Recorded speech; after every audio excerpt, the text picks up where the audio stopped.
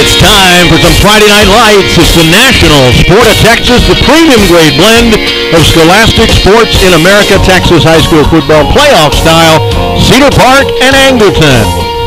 Good evening, everyone. Welcome to Waller, Texas, just west of Houston and Waller Stadium. Our fourth appearance in Waller and the third in this stadium, all playoff encounters. We beat Richmond Foster here just last year in this same second round. Tonight, the Timberwolves face the traditionally strong Wildcats from Angleton. You're listening live on the VYPE Network. We've been broadcasting Cedar Park football under various name changes since 2008. This is our 175th game.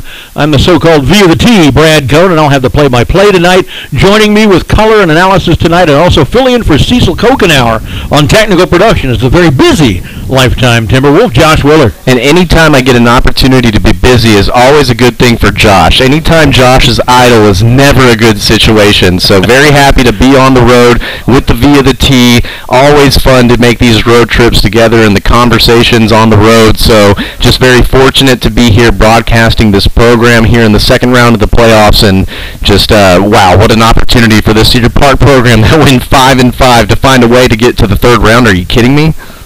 Could be. Josh and I hosted the state champion women's basketball team as our guests on Timberwolf Night in America Tuesday night from Santa Catarina. We had a great visit with all the girls and three of their coaches. The head coach Donnie Ott, assistants J.R. Romero and Cami Williamson, plus the V of the L team, Mike Rose, and players Reese Merrill, Angie Sacco, G-Mall, and all-state center Shelby Hayes. They are already 7-0, ranked number one in the state in every poll. They are playing tonight, as a matter of fact. Join Josh and me this coming Tuesday night, November 23rd from 7.30 to 9, where our guests will be the captains from the defending national champion cheer squad. We'll have that show win or lose tonight. This will be the first game between Cedar Park and Angleton in any of the major sports. The uh, Wildcats seven and three in the regular season, finishing fourth in District uh, 13 5A. Their 34-18 win over one seed Friendswood in the first round last week was considered an upset. They started out great with uh, wins over Stafford, Alief Taylor, Houston Milby, something called Houston Wisdom, and then Rosenberg Terry. Then the level of competition tightened up. They lost three of their last five, falling to Fort Bend Hightower, Manvel, and Katy Paetow, sandwiched around wins over Richmond Foster and Fort Bend Kempner. Some of their wins have been very close. A one-point win over Foster, two-point win over Stafford, another two-point win over Kempner. Their first round game against Friendswood was touch and go the whole time until Angleton pulled away in the last three minutes, sort of like our game with Weiss. This is a team that senses that Cedar Park is in the midst of a kind of a down season, and they are chomping at the bit to bite off a chunk of the Timberwolves, Josh. Yeah, I mean this Angleton team is historically great in the in the state of Texas, and they come from a very powerhouse area in the state. So they play competitive football all year round, and you know they've had great seasons where they've won district, and now this is a down season for them. So that's what I had an opportunity to get on the field while these guys were warming up. Do you think this Angleton team respects the Cedar Park Timberwolves? Absolutely not. I feel like this is a team that feels like they're destined to go on and move on from this round because they haven't experienced that Cedar Park, you know, tenacity that they bring to the table. And so for these two powerhouses to be matched up in the second round, it really, you know, makes for a very interesting and exciting game. And you just got to, you know, Cedar Park control what you can control. Don't worry about the opposing team and just buy into the game plan and hopefully good things happen. But this Angleton Wildcat team, I mean, they've gone through ups and downs this entire season, but they're here in the second round, so they're not bad. Yeah, and, you're right. Like Johnson in the first round, it's a team we've never played before, so they haven't seen us with our glorious past. No reason to get afraid of our logo or our name, and they are going to bring it. Cedar Park stumbled into the playoffs on the heels of two straight fourth quarter collapses, but last week they did a lot of things very right in what turned out to be a double overtime win on the road at Buda Johnson. Timberwolves actually controlled every stat in this game, and the necessity for overtime was only caused by four Cedar Park turnovers and four sure touchdown passes that were not completed. There were actually five, but we scored on that drive anyway. 28 points were left on the field. And the four turnovers gave Johnson extra possessions they wouldn't have normally gotten. Outside of those eight critical plays, Cedar Park actually played an inspired game and could rightfully have won by four or five touchdowns over a 9-1 team. And, and Cedar Park, that's what we were worried about in that first round matchup as Cedar Park coming in as a lower seed versus a higher seed. Which Cedar Park team would we get off of the bus? And we got the right Cedar Park team off the bus immediately last week on the road against the Johnson Jaguars, especially from the Black Rain and their ability to contain and bottle up that quarterback, uh, Jesse Medina from the Johnson Jaguars. And so for offensively, for us to leave so many points on the board, as as bad as that hurts and as close as that game was, as the Cedar Park community, we always emphasize what we can improve on in the next game. And if we're leaving points on the board, well, we got to capitalize that going into the next week. And again, in the second round of the playoffs, everyone's good. If you think you can leave points on the board, you are severely mistaken because this is Texas high school football and absolutely no one respects you when you get into the playoffs. So you've got to be able to prove it in finished drives ending in touchdowns. Cedar Park and Angleton on the road tonight in Waller. It is round two of the state playoffs. Cedar Park's 14th consecutive postseason trip. The program is 42 and 14 all-time in postseason games.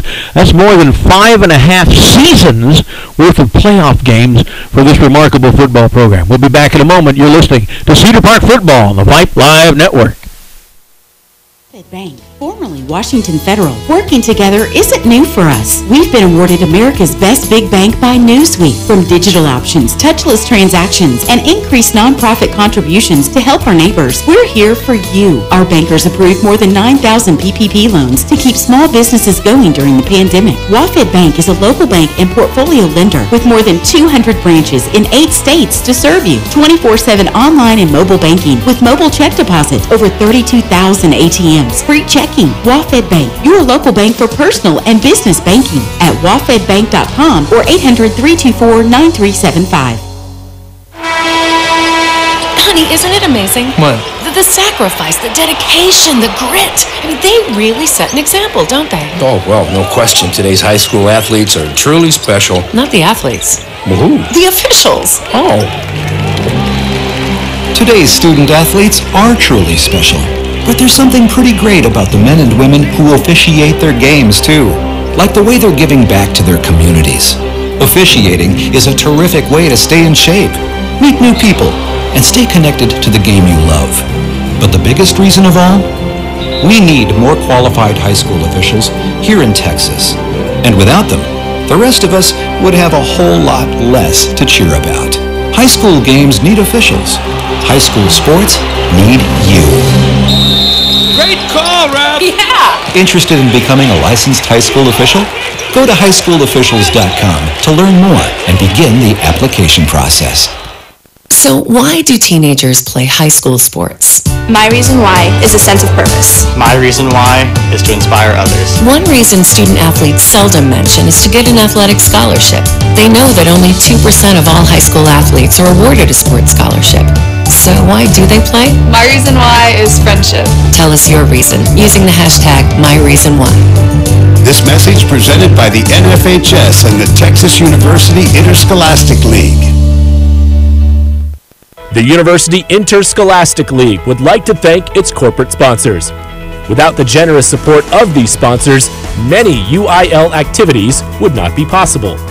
The UIL gives special thanks to Balfour, Baylor Scott and White, Dairy Max, Dairy Queen, Ford, Fox Sports Southwest, Gatorade, Hellas Construction, Max Preps, the NFHS Network, Nike, Register My Athlete, Spalding, and Texas Farm Bureau Insurance. These generous corporate sponsors support the UIL in all its activities music, academics, and athletics. The UIL appreciates these sponsors and their participation in all that the UIL does in Texas extracurricular activities.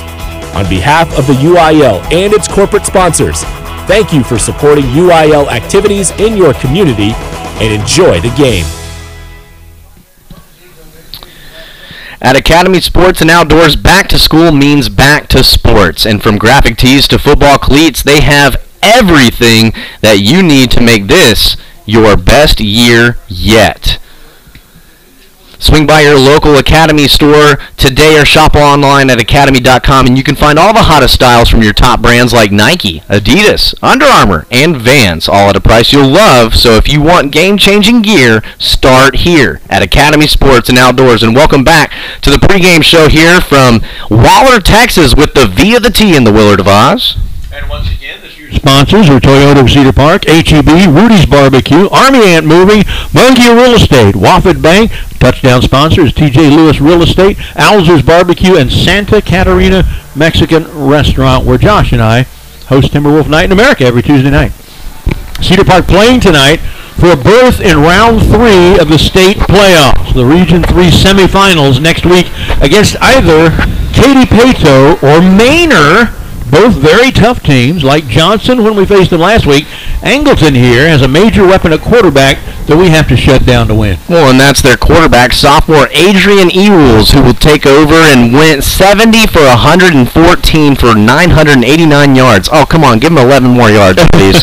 uh, for 12 touchdowns, 5 interceptions. The top receivers are Carrion Bonabe Goins with 43 catches for 566 yards and 5 touchdowns. Also, A.J. Rice with 24 catches for 483 yards and a whopping 20.1 average per catch with 4 touchdowns logged as well. In the ground game, it's going to be junior Deshaun Thomas. He's got 108 carries, 668 yards, and a healthy 6.2 average per tote with 10 touchdowns. And quarterback Ewells, the sophomore, is their second leading rusher with 95 carries for 361 yards, only a 3.8 average in 5 touchdowns. Our first football game ever against Angleton. We did beat them once in a baseball playoff series several years ago. And Angleton has a 1-0 record at the GUP. About five Whoa. years ago, LISD hosted a regional semifinal on a Saturday, and I was on the stadium mic for that one because we had played the night before somewhere in our playoff game. Angleton won in a high-scoring shootout. This season, the Wildcats average 31.4 points per game, and they give up 23.5. Cedar Park averages 29.9, giving up 28.5. Current weather for Waller, Texas, 52 degrees, dropping into the mid-40s by game's end. 46% humidity, wind from the north, the left at 9 miles an hour. But, you know, I'm looking at the flags. I think that weather report is old enough to be wrong. The ribbons hanging from the uh, uprights, the goalposts, are just barely moving, so hardly any wind at all. Yeah, not much wind to work with here tonight, and that's a big change from last week against the Johnson Jaguars on the road. Uh, there was a stiff wind all night, and even the opposing kicker kicked a nice 47-yarder into a wind uh, to really put Cedar Park on the ropes. And uh, with no wind tonight, you got to think the offensive playbook is not only open for the Timberwolves, it's also open for the Wildcats. Both teams have taken the field now. The color guard for uh, the National Guard students coming in from the south, the right towards midfield. They're almost there with the Texas flag and the American flag. Again, no video tonight. It's not a problem with your laptop or anything. Uh, Booster Club had had to pay about a thousand dollars extra a game, kind of an extortion fee to the UIL to take video into the playoffs.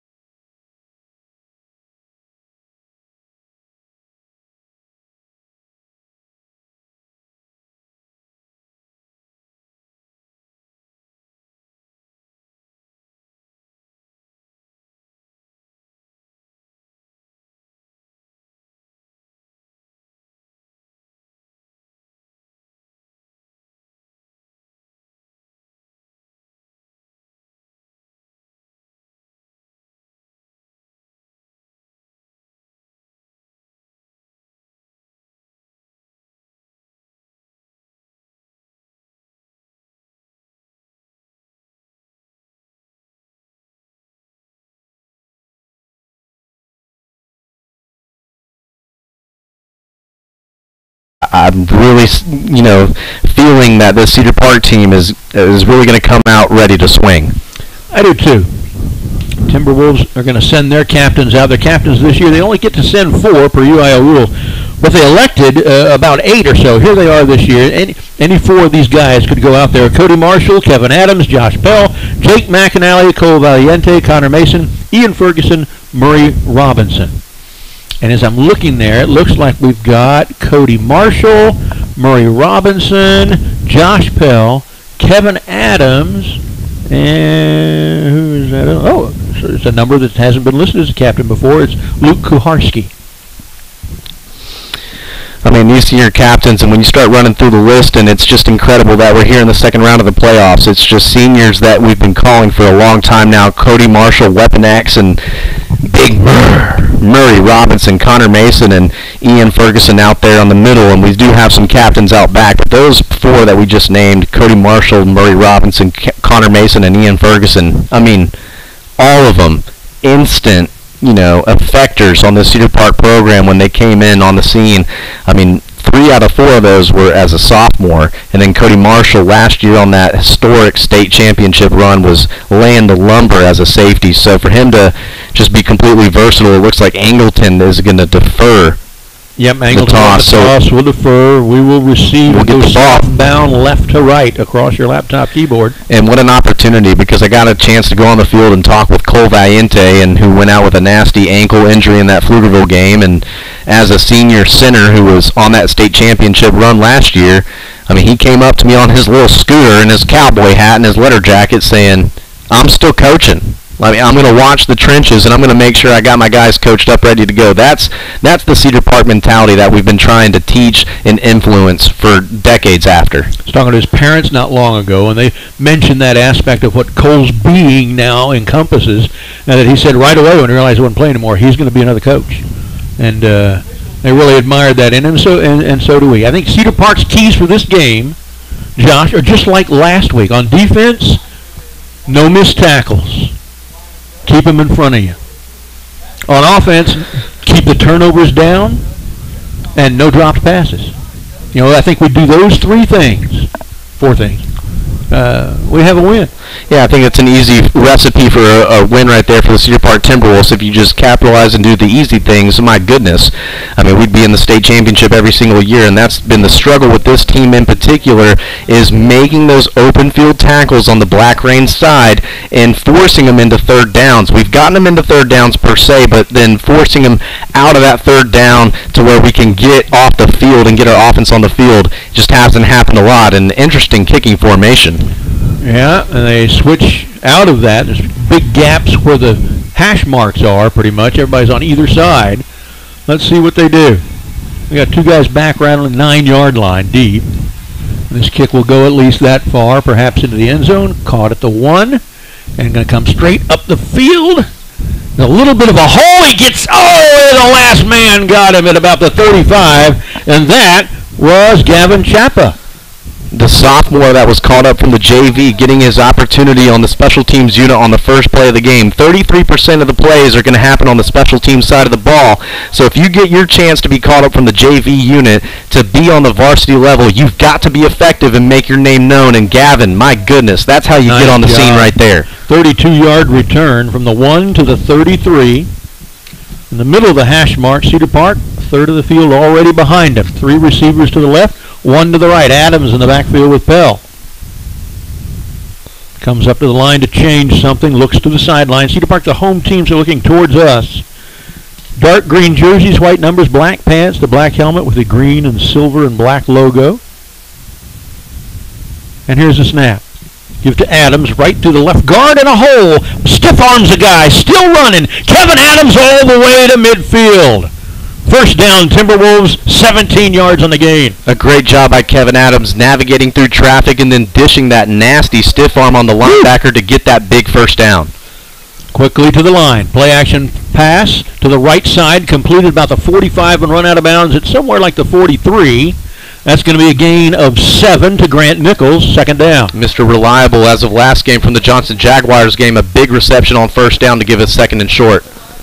Back to the line. Adams right up the center. Yeah, still pushing, still pushing Adams inside the 40, all the way down to about the 40, uh, 38 yard line. First down, gain of five. Cedar Park first and 10 inside of the Wildcats territory and still not forced into a third down. We're moving with pace. I love this opportunity from the offense to start the game uh, with a big, big possession. Two receivers left, one right. Slot left comes in motion now to the right, and is slot right. Snap.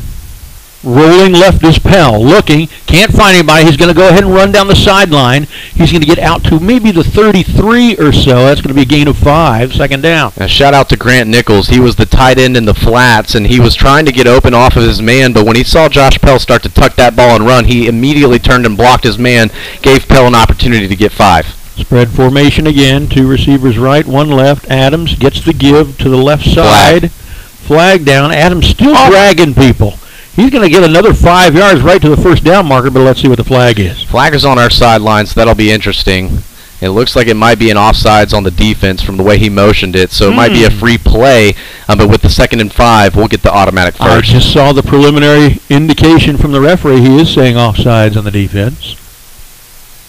So did Kevin get more yards than the offense would get on the penalty? Is the question.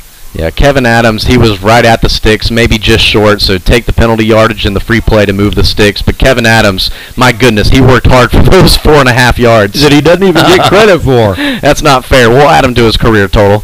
So five yards on the penalty gives us the first down, the third of the game. Back to the line. Two running backs now back there with Pell, one on either side of him. Let me give. It looks like Cody Marshall trying to get around the left side. He's hit behind the line for a loss of a couple back to the 29. Yeah, not much going right there. Good job by the Angleton Wildcats, specifically number eight, Joseph McCray, the sophomore defensive back that came just screaming up on Cody Marshall. That took just a little too long to get out there. I'm not sure I like the design of that play. Oh, take the single formation up top. Three, four receivers right now, single to the left. Pell throws down the middle to the end zone to Cody Marshall. Catch at the one into the end zone for the touchdown. 29-yard touchdown strike. Pell to Weapon X. Well, Josh Pell, he saw the single coverage with Kevin Adams going motion out of the backfield, and I thought he was going to go left side to the single coverage, but why not take Weapon X out of the slot? Weapon X absolutely dominating his man, getting him on his back hip, and Josh Pell throwing him open into the end zone. That was a beautifully executed play and a beautifully executed first possession. On for the extra point now to hold Marshall is Raylan Barr. Snap, hold, kick, gets through, and it's good. 10-14, less than two minutes into the game. 7 nothing Timberwolves. We'll be right back. Do you consider yourself a football fan or a high school sports fan? The word fan comes from the word fanatic. The Hewletts are fans of many things, including local sports. Hewlett Volkswagen and Don Hewlett Chevrolet are proud to be a part of helping student athletes grow into young adults. If you're a fan of great customer service, a huge selection of cars, trucks, and SUVs, then come see us. Hewlett Volkswagen and Don Hewlett Chevrolet Buick, I-35 at the Westinghouse exit in Georgetown. You know the Alzer family. They've been involved in Cedar Park sports for years, just as Alzer's Barbecue has been involved in Cedar Park cuisine for years. It's one-of-a-kind, authentic Texas barbecue. Brisket, turkey, chicken, lamb, terrific sides and sauces. It's sheer succulence. That's Alzer's Barbecue, next to the Shell Station on 1431, just east of Lakeline. Open Friday through Sunday, every weekend. All right, welcome back. That drive about 67 yards, 61 of it in total offense, some of it in penalty. Cedar Park 25 rushing, 36 passing, including the touchdown play. Pell to Marshall. Here's the kick. Down at about the 8 on the left hash, running straight up the hash for Angleton and into a crowd. He will not make the 25. A flag comes in at the end. He's down at the 24. Only about a 14-yard return. Let's see what the flag is. Got a Cedar Park player coming off the bottom of the pile with the football. Don't think he's going to be able to get that, but there is that late flag. Hopefully that's on that return team, and it is looking like he's motioning towards holding towards our sideline, so they will back him up 10 yards, and, I mean, that's just a gift from the football gods. We have to capitalize as the Black Rain. That was about a 14-yard return. They're going to take 10 of it away, so a net four-yard return. And before they even snap the ball once, Angleton's got two penalties. I kind of like that. Three receivers right, two left. One man in the backfield with the quarterback, Ewell. Taking their time getting set. Ewell gives to the running back. Goes right side. It's hit, drags the guy forward. He's going to get about three yards to the 13. Good job swarming to the football in the Black Rain, doing a great job. Jake McAnally, number 31, the senior middle linebacker captain, had a great game last week against the Johnson Jaguars, spying Medina, that quarterback, and left late with an injury, but he's here starting tonight. We're going to need that presence early. Running back on that play was Deshaun Thomas.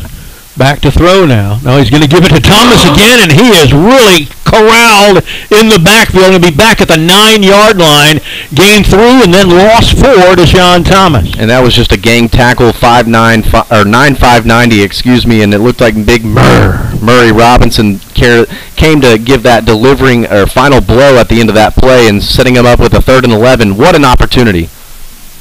So third and 11, two receivers right, one left. Ewell in the backfield. Deshaun Thomas next to him, fakes to him, looking over the middle. Good protection. Throws deep. No, it's dropped. He tries to throw ah. deep. It comes out of his hand, but it looks like they recovered it back at the four. They're calling it as a fumble, but I thought his throwing motion would have made that an incomplete I, I, pass. I did too and I, I guess he might have lost it as he was rearing back. But that loss of three yards, wow, that puts them now punting from their own back line. The snap going to come from the four-yard line. Punter standing right yeah. on that back line. And they were at the nine, so that's a loss of five yards, and it goes down as a sack and a fumble. Great job by the Black Rain. Fourth and almost Ooh, 16 jumped, but uh, it's just going to make it fourth and 10 from the 10 or 11. Yep. That was uh, and it, that was on the outside gunner too on the punt block. So you hate to see that. I mean, especially Coach Q, who's came from this Chris Ross coaching tree, who started on that defensive line, who always had the football on the stick. And so those defensive linemen, they wouldn't move until they saw that stick move. Maybe they need to implement that right now on the special teams. They're just getting a little too excited to go make a big play right there. But nonetheless, it's still fourth and 11. I don't blame them. Punting team still on. Line of scrimmage is uh, north of the nine a little bit. And we got Houston Molinaro at their 45. Great field position oh, ensuing. this will be good. Snap's good. Little pressure. The kick is away.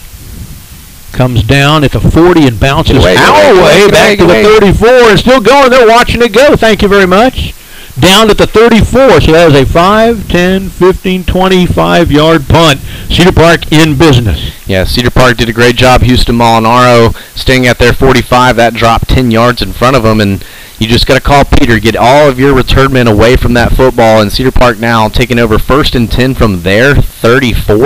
And oh only 34 yards away and a kick from the. Uh, unmentionable stat? Oh my goodness. 8-10 on the clock. Having to four minutes. Interesting formation. They've got that H-back behind the left tackle. Two receivers spread right, which is the short side of the field, one left. So Adams in the backfield with Pell. So much speed at that receiver position with Weapon X and Houston Molinaro. Weapon X in motion. They give it to him and he fumbles, but he chases wow. it down.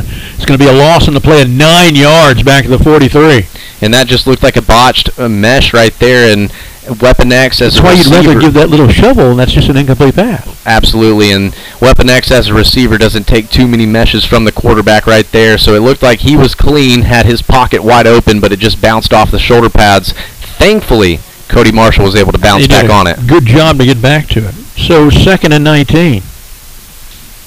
Give to Adams right through the middle. He'll get some of it back. Gets to a hole on the left side. Holds on to the ball. Gets down to about the 32. Good gain by Adams of about 15 yards. Yeah, he should have been down in the rights for about five-yard gain, but he made a nice little cut backside to sleep, slip through some linebackers and get swung with forward progress. Third manageable. Third about six and a half. Back to throw now is Pell. Throws to the left sideline and well out of bounds. He was under some pressure by uh, the Wildcats. So that failed third down attempt immediately put Cedar Park into position now at fourth and seven inside Wildcat territory at the 31-yard line. I keep the offense on the field with how this season has gone. I'm trying to put as many points on the board as possible and convert. I'm not trying to pin them deep. This is no man's land. Fourth down and seven-ish, six-ish. near the left hash. Two receivers right, one left. Back to throw is Pell, looking right, throwing towards the end zone. Has a man inside the coverage, but the guy jumps over him and knocks it down. Pell left it a little short, kept leading him a little bit, and it would have been a touchdown. Instead, ball goes over on downs. Definitely found the right receiver. Houston Molinaro had that re- defensive back on his back hip, and Josh Pell just dipped his shoulders a little bit too much and put some a little bit too much air under that to give the defensive back enough time to get under that underneath that football. So turnover on downs. Black Rain got to step up. So much for the unmentionable stat. Worst and 10, 31-yard line for Angleton. Two receivers to either side, running back in the backfield, fakes to him, goes back to throw. Flush running to the right side, tries to put a move on somebody. He's going to barely get back to the line. And that was Jake McAnally, thank goodness, and Brandon Payne. Brendan Payne. Yeah, Jake McAnally did a great job as that middle linebacker coming out and containing that quarterback. Got beat on an inside move, but Brendan Payne was already there for the pursuit. Had a great wrap-up tackle right at the line of scrimmage. Great team play on the defensive side of the ball. Ewell's their second leading rusher, but uh, and also their leading rusher tonight now with zero. Yeah, digest that. Back to throw under pressure and sacked. Oh, whipped him down. Ball comes loose. Does Cedar Park get it? We think they do. The refs think that. Yes, they do. Wow. What a play! Unbelievable play, and I mean that's what we're needing out of this black rain. We need opportunities of creating short fields and getting our offense on the field, and that's exactly how you do it right there. Oh my goodness! And it happened so fast I hadn't had a chance to get my binoculars up, so I didn't see who got that, Josh. I don't know if you did. No, I didn't. I'm trying to keep up with yeah, you're busy with all that stuff. Don't let them get uh, get you too busy over there. So Cedar Park will start out another chance to get the uh, unmentionable stat. 6:24 on the clock. Up seven nothing. First and ten there. 23 left hash gives the running back runs right side. Puts his shoulder down. He's gonna get all the way down to about the 17. And I think That was Tyree. yeah, Tyrese Nicholson. Yeah, big run by Tyree, and especially on first down to give us some breathing room. Six minutes to go here in the first. Five yards on that run. Back to throw is Pell. He throws towards the left sideline, complete. Guy had to come back for it. He's not going to have the first down. Going to get maybe three. It was Nick. Oh. Joseph Edwards. No, number no, eight. put your binos on. That's not number eight. That's. That's number five. Yep, you're right. That was number five, Nick. Three yard gain. This time into the line again. Tyree Oh. can't quite get there. He's going to be about a half a yard short. And so far tonight, Cedar Park 0 for 2 on third downs. So now with this fourth and short, I mean, in field goal range, especially for Raylon Barr. Wow, I don't see a field goal team coming out. I don't either. I mean, it's fourth and one. Go get me a freaking yard. Let's go. Come on. Okay, playoff interest- sec- interesting determination. They need to be able to get a yard. Got the heavy lineup in. Tyree Nicholson, the running back, with Pell. Gives it to him straight up the line, puts his head down. and He's going to have it. A lot of help from his friends. Tyree's going to get about five yards to the 10, first and maybe first and goal. What a great run by Tyree and the ball security as soon as he gets to the line of scrimmage, both hands on the football and plowing those legs, but definitely getting help from those Doughboys up front. Ethan Whittington, Connor Mason, Isaac Barksdale, those guys laying the lumber out there. 449 and ticking in the first, trying to expand a 7 nothing lead. Cedar Park, first down at the 10. The snap, give to Nicholson. He runs right side. He gets a 5, 4, still dragging people to about the 3, maybe the 2. Now, I think he got swung down to the two with that forward progress. They'll mark him down at the three. A great first down carry. And again, though, no first down. I mean, we got to get to the end zone. It's second and goal. Second and goal from the 3, closer to the right hash than the left. I would love a speed option, maybe. Nicholson again, the running back. They'll give to him. No, Pell will keep and run left side. Does he have it? Yes. Into the end zone is Josh Pell. Touchdown Timberwolves. A great job by Josh Pell running the mesh up into the line of scrimmage, and Tyree Nicholson did a great job too. As soon as he faked the handoff, he took care of the man that was going to wrap him up. That gave Josh Pell the ability to use that speed to get to the outside. And if you watch that replay, Josh Pell cuts north and south very fast to get into the end zone. Clutch play by the senior captain. Cedar Park, the home team, and so they're playing the, the air raid sirens on that touchdown here at Waller Stadium. Here's Barr out of the hold of Marshall, gathers in a funny snap, Kicks it through, and it's good. The unmentionable stat. Four minutes and eight seconds left in the first quarter. 14 nothing Timberwolves. We'll be right back. At WaFd Bank, formerly Washington Federal, working together isn't new for us. We've been awarded America's Best Big Bank by Newsweek. From digital options, touchless transactions, and increased nonprofit contributions to help our neighbors, we're here for you. Our bankers approved more than 9,000 PPP loans to keep small businesses going during the pandemic. WaFd Bank is a local bank and portfolio lender with more than 200 branches in eight states to serve you. 24-7 online and mobile banking with mobile check deposit. Over 32,000 ATMs. Free checking. WaFd Bank, your local bank for personal and business banking at wafdbank.com or 800-324-9375. Welcome back to Cedar Park Football on the VYPE Live Network. The Willard of Oz here along with Brad Cohn. Thank you so much, Cecil Kokenauer, for listening and making sure that I'm doing this thing right. We're missing our the best producer in the land, but thank you, Suna Vincat, as well as well as Rosie Vega, our QA tonight. And the Timberwolves take over the unmentionable stat, 14 to zero. Our score here in the first quarter, 4-0 to play, and the Black Rain about to get on the field. Is this the same Cedar Park team we watched all year? I don't know. Doesn't seem like it does. It seems like the one we've been watching for the last decade. This kick deep down to about the four on the far sideline, running it back towards the middle. Hit hard at the 18-yard line. Nice job by Isaiah King. Isaiah King, we had him on Timberwolf Night in America for the special teams unit night and did a great job running his lane. And it looked like that ball carrier from Angleton had the speed and the agility to get out of some mess. But right there, Isaiah, Isaiah King just running his lane took care of that completely. Great job. 14 yards on that return. And they'll start off at their own 18, right between the hash marks give to the running back some room this time. They'll get positive yardage all the way out to the 27. Nine yards on the play by Thomas. A great counter play by the Wildcats, and they got Cedar Park sleeping, but thank goodness Reed Vines was staying at home. The sophomore linebacker, great open field tackle. Same formation. Give it to him again, Thomas to the right side, and he is hit at the line and tackled by about five different guys he's going to get maybe two yards, but that's all he needed for the first. Yeah, not much yardage to go right there for the first, but I think that's their first first down it of is. the game. Their initial first down, and on that carry, they went from negative one to one yard total offense. I mean, but that's it, we just cannot play Texas football. We're up 14 to zero. Yeah, we can't I'm sorry. go into Longhorn mode here. You know, Longhorn mode in the Rose Bowl under Vince Young, sure. Back to throw is Ewell. Mm. He will cut right oh! in the middle, of missed tackle, and they come up quickly and get him at about the 30. It's only going to be a yard gain on the play. Ethan Becker with the pursuit. Great job by Ethan Becker. He went out in coverage as that outside linebacker, getting his man, but when he saw the quarterback step up trying to make a run, he beat his man to the quarterback, beat the block, fought through it. Great job, Ethan Becker, setting him up with second and long. Becker, I was looking through my, my binos, and Becker just appeared like a rocket out of the yeah. left side of the screen.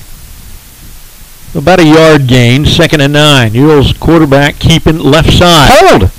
Several holes. I'm looking yeah. the binos. there out go. of bounds there's at least two holes. He's going to gain only about two yards to the 32. I mean, you could have caught a hold on the backside on Brendan Payne. I think that's where they got it. But then also a great job by Ethan Becker again, who made the play last play. Did a great job fighting for that outside contain. But I mean, there's too many people to call holding on on that play.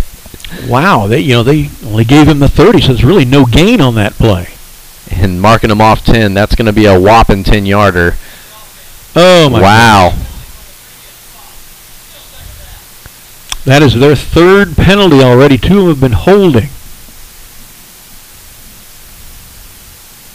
25 yards on those three penalties.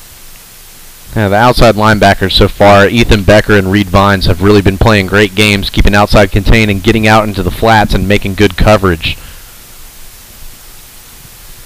Ewells takes the snap, play action fake, throws, complete, left side, right at the line at the 20. He bursts through, got several people that he's talk, taken with him all the way to the 41. Right when we didn't need it, we give up 21 yards and a first down. And that's why I love football. It takes one big play to to make a momentum swing right that right there, and they had a second and long, a huge opportunity to force them into third and long, and they throw a wide receiver screen. Oh my goodness! First completed pass of the game for Angleton. Offensive lineman switches sides to the right. Shovel pass. Complete. Going to the left side. Goes forward for several yards, about five. That was complete to their receiver. Kanan Go- Carrion Goins. Only way have trouble, we're going to just not say the second part of that name. And Jake McAnally did a good job tracking tracking that receiver all the way through the motion and to the point of contact. He laid a nice blow, but Jake McAnally had to leave last game with a shoulder injury, so don't want him to take too many of those shots. Second down and about six. They're going to give him only four on that last carry. Back to throw is Ewells. He throws to the right side. Wow. I think completed about the 48, but that's only going to gain about three yards. And the fact that he completed that is insane because it was a great pass rush by Ian Ferguson and Brendan Payne. They were up in the quarterback's face in a hurry, and that quarterback throwing it off his back foot, falling away, completing that pass. All right, I'll give it to him. Okay, we'll give it to him.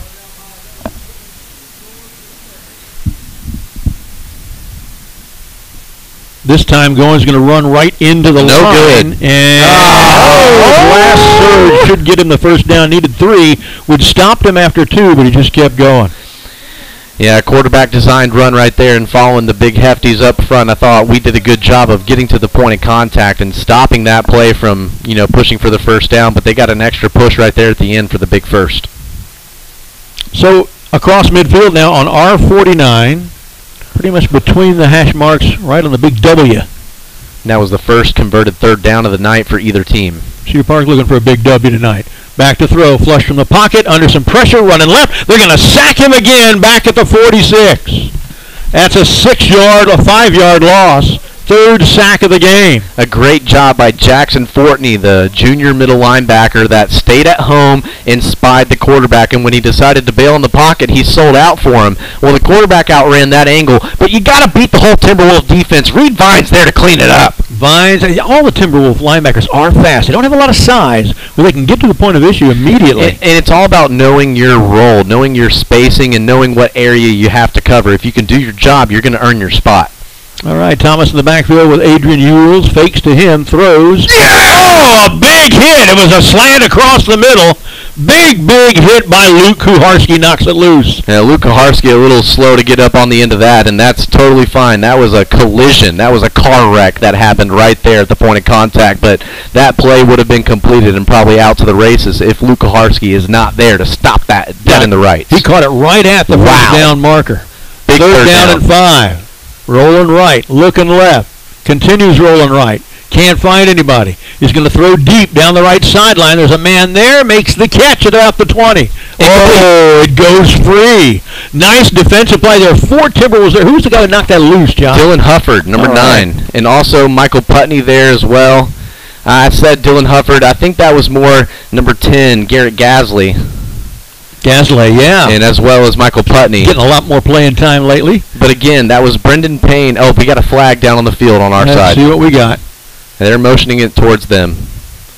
There was I, I would decline to make it fourth and five and make them punt. absolutely. Unless they're already thinking they need to go for it. the way they designed that play, it looked like they were going to try to throw a throwback screen. So Brendan Payne on the backside, he immediately noticed that he was off scot clean. And if you watch the replay, he completely breaks down like I don't know what else to do, and he immediately goes sells out on the quarterback. And a great job of flushing him to the right side of the field and keeping him contained. And he tried to uh, launch one. He had an open receiver, but it being underthrown and into coverage, there was no chance. and it was an ineligible man downfield on Angleton. So of course we're going to decline that. It's fourth and five from their 46. Uh, they should punt, and that's the end of the first quarter. We'll be right back in a minute. Cedar Park up 14 nothing after one. Experience the difference at Toyota of Cedar Park, one of the Austin area's newest automobile dealerships. Their new vehicle department will always stock the newest Toyota models you need. The pre-owned vehicles they choose must each pass a rigorous inspection and be in tip-top shape before they make it to their lot or website for you to see. And if you're looking for budget-friendly Toyota certified used vehicles, they've got you covered and you can rest easy knowing that the best new cars make the best used cars. That's Toyota of Cedar Park at toyotaofcedarpark.com. Welcome back, Cedar Park Football VYPE Live Network. Brad and Josh here. Rosie, our QA. Starting the second quarter, 14 nothing Timberwolves. A score from College Station. Paetow leads Manor after one, 14 to nothing. So here it is, fourth down. Uh, they have moved something. It was fourth and five. Now it's fourth and seven. So they have something wrong there on the far side. And I think the referees may be coming together to talk about that a little bit. I mean, but Cedar Park, when how much offensive production the Angleton Wildcats have produced this season, I feel like they've done a great job of keeping everything in front of them, and then offensively, 14 points on the board in the first quarter. I mean, come on. 91 yards of total offense for Cedar Park in quarter one to 29, and all of that is in the last six plays. Well, they back them up now, Brad. Yeah, wow. I said that they had something wrong. There we go. Okay, so they're back to the 46-yard line, and they'll be punting from the left hash, going southbound now. Flags in the end zone, barely moving. What wind there is is behind him. We'll be going against a slight wind the next two quarters. Snap, kick, it's away. 10, 20, Mm. 30. Oh, another unfavorable bounce. Didn't even get 30. it's about a 27-yard punt. Yeah, that took a nasty Cedar Park bounce for the Wildcats back in, uh, you know, going back in our in our possession. And a great job though for Cedar Park holding strong on the defensive side of the ball. They gave up a third down, uh, but Cedar Park held strong and got them into another fourth in a punting situation. So Cedar Park has an opportunity to go up 21 here in the first half. I mean, Eh. this is not something we're used to this season, Not folks. this year. Oh, 24 yards on that punt to the 29. First and 10, Cedar Park. Right hash, going right to left now at their 29. Pell fakes, throws, complete out to the left side. Not a lot of room there for a Weapon X. And we've probably got a holding penalty. It's going to gain two to the 32, but let's see what the flag's all about. And I mean, they had me fooled. I, I, they gave the fake to Kevin Adams, and I thought everybody thought Kevin Adams had the football, but he pulled that, and I thought it was a wise read, seeing the numbers that Cody Marshall had on the outside. He definitely made the first man miss, but with that holding call, that's probably going to be called. Eh, it hurts. So it's going to move back. Uh, spot of the foul is a 32, so it's going to be an eight-yard penalty. Block in the back. Ooh, that's a 15-yarder. Let's see. Is that a spot foul? Yeah, it's a spot foul. From the spot is what he means. So it's back 10 yards from the spot, which is back a net of eight, so it's really an eight-yard penalty. It could be worse. we went from first and 10 to first and 18. It could be worse. Right, could be worse. From the 22 now near the right hash, two receivers right, one left. Tight end on the left end. Play action fake to the running back. Pell throwing over the middle. Gruyon stretches out just can't get it just at midfield. That's okay. Nick Gruyon did a great job beating his man on the backside. That route is going to be open later in the game, and I love that formation too because they really disguised it like they were going to run heavy with Kevin Adams with how much Yeah. they had up front, and Nick Gruyon to win on the backside like that. I guarantee that play is going to be there with how much Kevin Adams we give them later in the game. Marshall and Edwards to the right side. This one, get fake, back to throw, throwing, right side, Oof. incomplete. That was a little too tight of a window to thread, probably for Josh, and he had Cody Marshall, you know, cutting Yeah. back towards the middle of the field on a crack route, and he had Houston Molinaro on the deep route, and both receivers had their men de- had their men beat, but their cornerbacks and their defenders did a great job of getting into that nestled window to where it makes it a very difficult throw. Third and 18. So far, Cedar Park over three on third downs. Free play. Jumps, but he gets back in time. Eh. Oh, are they going to call it anyway? Down here on the receivers are Nick Gruyon jumps, so hopefully they'll Oh. give that on the defense. They're going to give it on the offense. Okay, they found Nick jumping.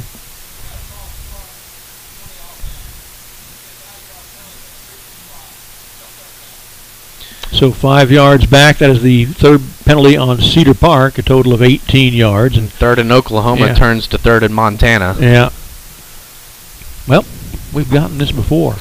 Isn't that Third crazy? and 24. Back to throw is Pell. Screen pass incomplete to the left, Oh, right side, and it was deflected out of Adams' hands and right into the hands of a charging linebacker, Sean Blanks. But he dropped the ball. Thank goodness. He probably could have scored.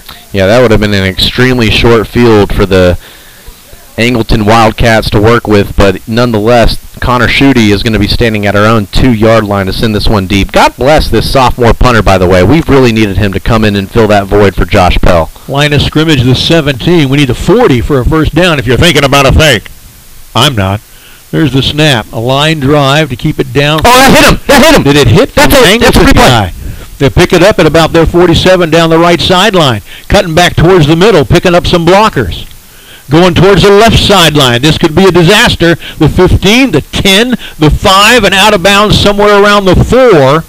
That's a 50-yard punt return and a first and goal. And just a heads-up play by the Angleton Wildcats. The way that that came off of Connor Schute's foot, it looked like it was just a line drive, maybe got six feet off the ground. And when it bounced, it looked like it deflected off of a return man from the Wildcats. But the return man that was standing back deep to receive just did a great job fielding that, reversing field. Oh my goodness, first and goal. It's a 36-yard punt, our first punt of the night, but a 54-yard return.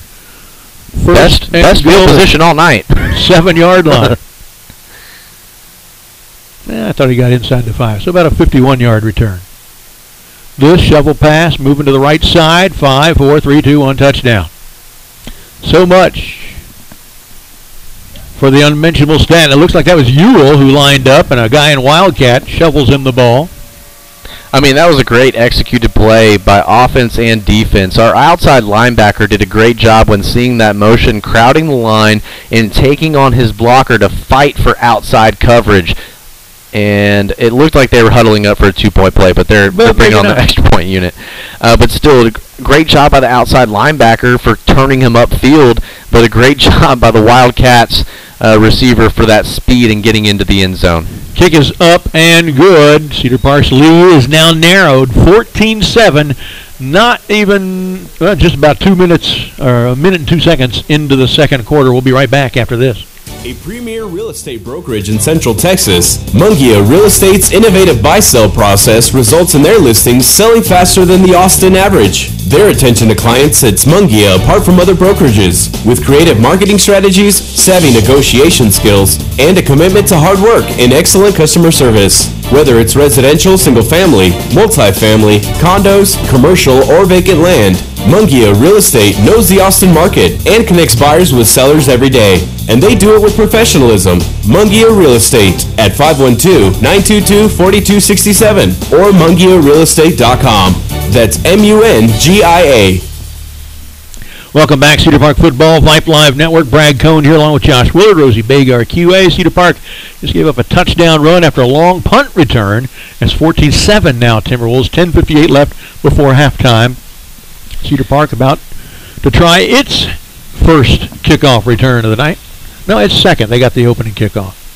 And it's an opportunity for Cedar Park now with some momentum on the Angleton Wildcats side. We started this game 14 to 0 with the football. We really need to put together a possession that ends in a touchdown right here before half. Kickoff fielded at about the 8 on the right side. Tries to head back the middle. He's only going to make it back to about the 17. A 9-yard return.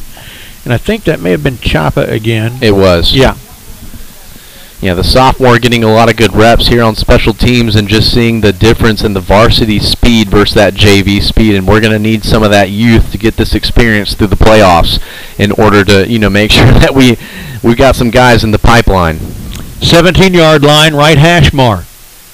Timberwolves 83 yards away. They call it the 18. Snap, gives, Adams stutter steps in the backfield. Not going to have much. Maybe he gets back to the line, maybe not. And too much stuttering right there, and I feel like Kevin Adams has the speed to when he starts to stutter like that, break it to the outside. Break it to the outside and trust your physicality. He has the strength in the weight room to give a stiff arm and get somebody off. No gain on the play, second down 10. Fakes to him. Pell looking. Over the middle, fired. Oh, ah, behind him. Hits him in the hands, but it was a little bit behind him. That's right where the receiver was, and he, I mean the defender was, he may have had a hand of in knocking it out of Cody's hands. That was a great route by Cody Marshall, just getting his defender on his back hip and getting open in the middle of the field. Josh Pell, though, feeling a little bit of pressure, did deliver that a little bit behind. Cody Marshall, though, I'm still going to give it on him to make that catch in traffic. Third and 10, Pell started out two for two and a touchdown. Since then, one for eight, three yards. Oh! This one he gets away. What a nice catch.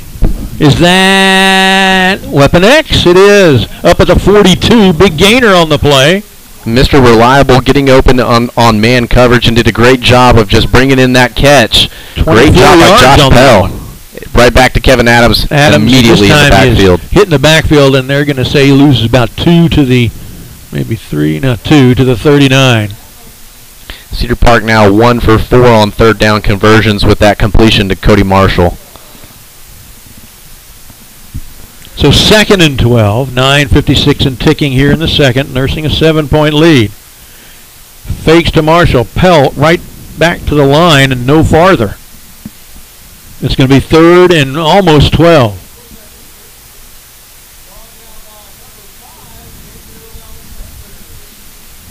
39 yard line, almost the 40.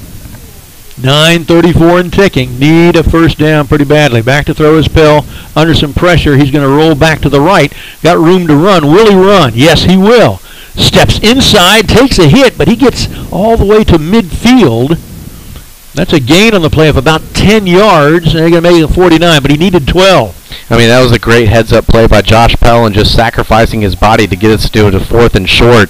And I mean, up seven here at middle of the field. This is a ballsy call right here with how well the black ran. and two. Two receivers left, one right.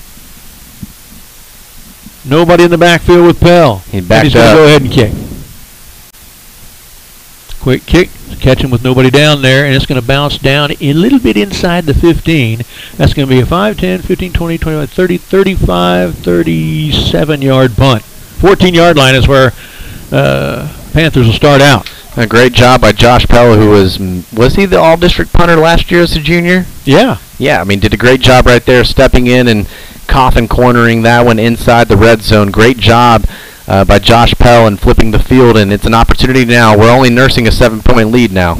And I just said the Panthers. It's the Wildcats of Angleton. First and 10 at their 14. Man in motion right to left. They give to the running back who hits right through the middle and gets a hole. 25, 30, heading towards the sideline.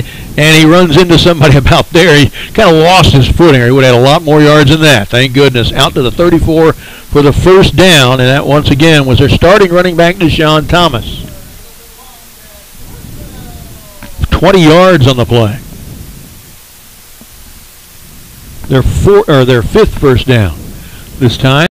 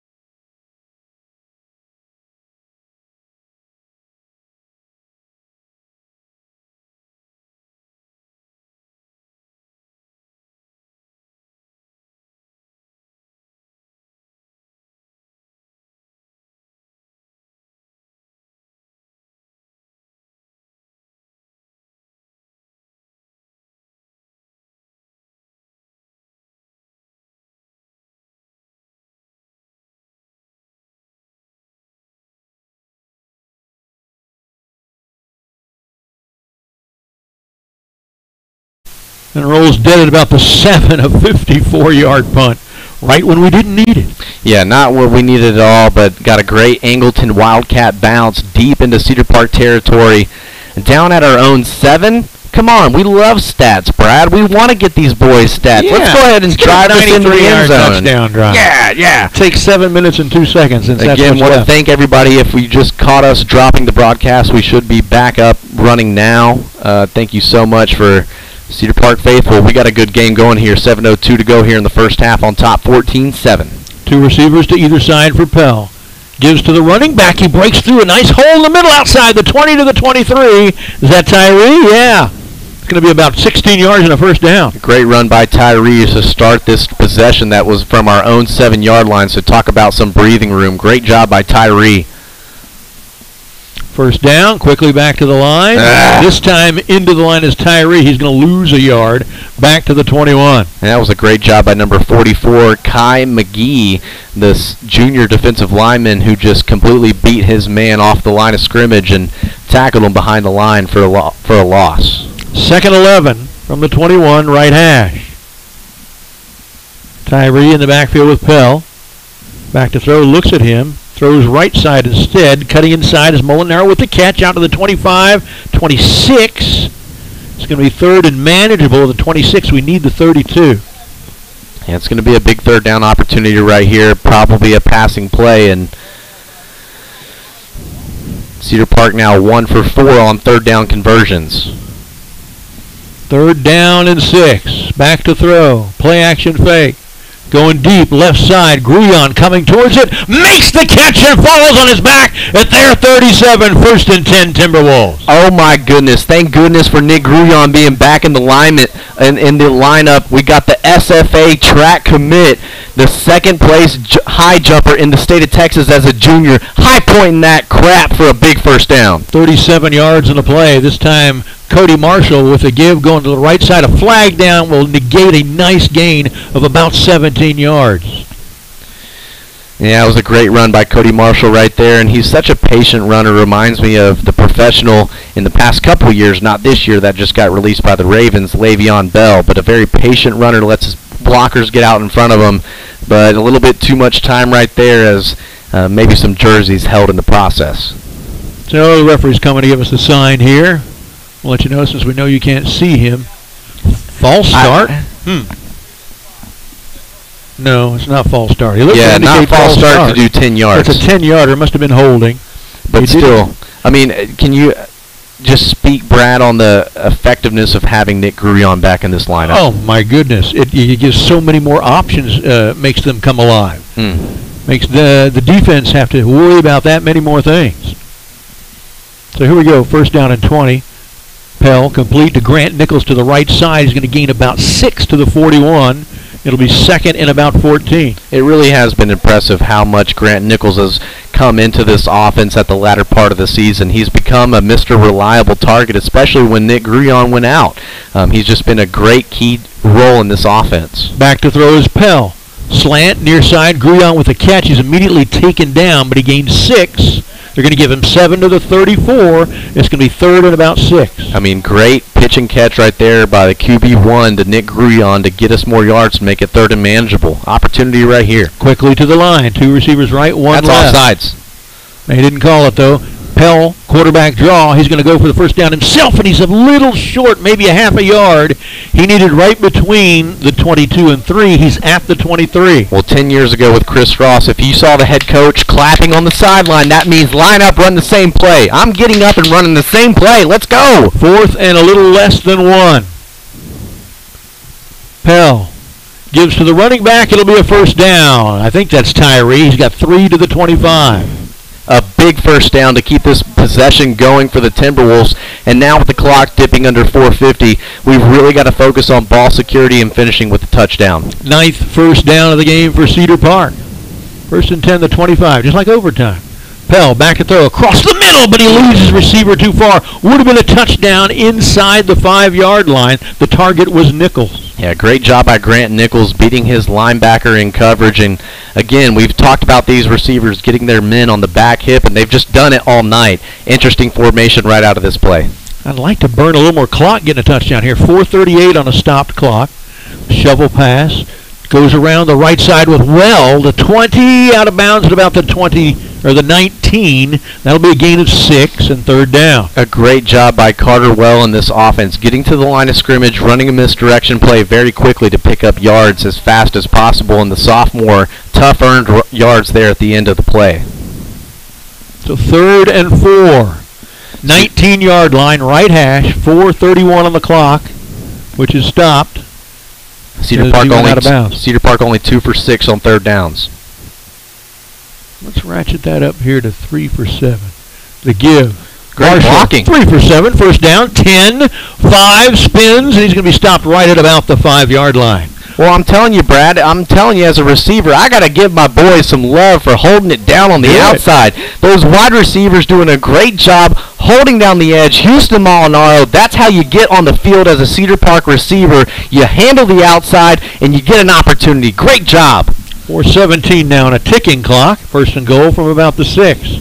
Into the line, and it's Mundell for the touchdown. First carry of the night, and it scores. Great job by Gavin Mundell getting into the end zone and finishing this drive with a crucial fourth down conversion, ending in a touchdown. That's the momentum that the Cedar Park offense needs to start building on into the second half. We need to keep the foot on the gas pedal. Gavin Mundell. Wow. Margin to 20 to 7. Here comes the kick from Barr out of the hole to Marshall. Did our Cedar Park team go through a time machine? Kick is up and good. They're getting awful close to blocking a lot of these place kicks. They didn't get that one. 21 7, 4 11 left. We'll be right back.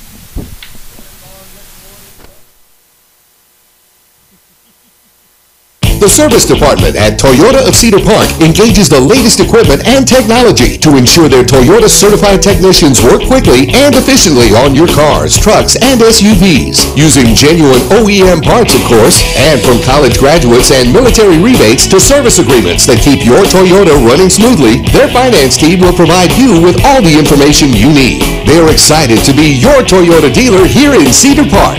That's Toyota of Cedar Park at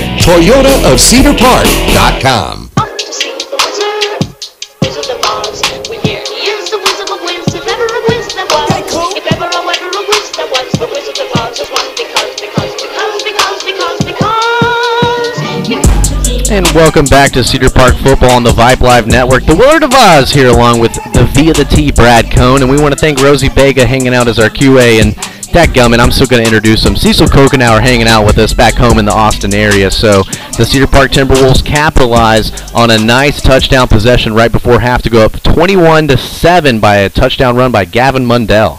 This kick is going to be a line drive to the end zone by the Norwegian Nightmare.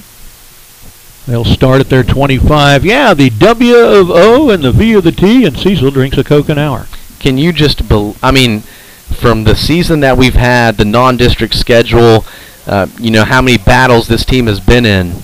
Uh, what are you feeling right now? I'm I'm just as confused as we're here, 21 to seven right now. This is exciting. Like you said, it's, it's, it's like they have become who they have been for the last Yes. more than a decade. They've found themselves here in the playoffs. First and 10, Wildcats. Shovel pass, running back comes right side, and he is quickly snowed under. Let's see the numbers 44, Josh, and 20. I also got Jake McAnally staying at home, but that was again Christian Cockrell, number 46 outside linebacker, fighting for outside contain and staying at home. Did a great job of getting upfield quickly to force that ball carrier up the field right into the teeth of the defense. It could have been more perfectly executed. That was Kerry and Goins with the one yard carry. Second and nine now, just outside the 26. 337 and ticking.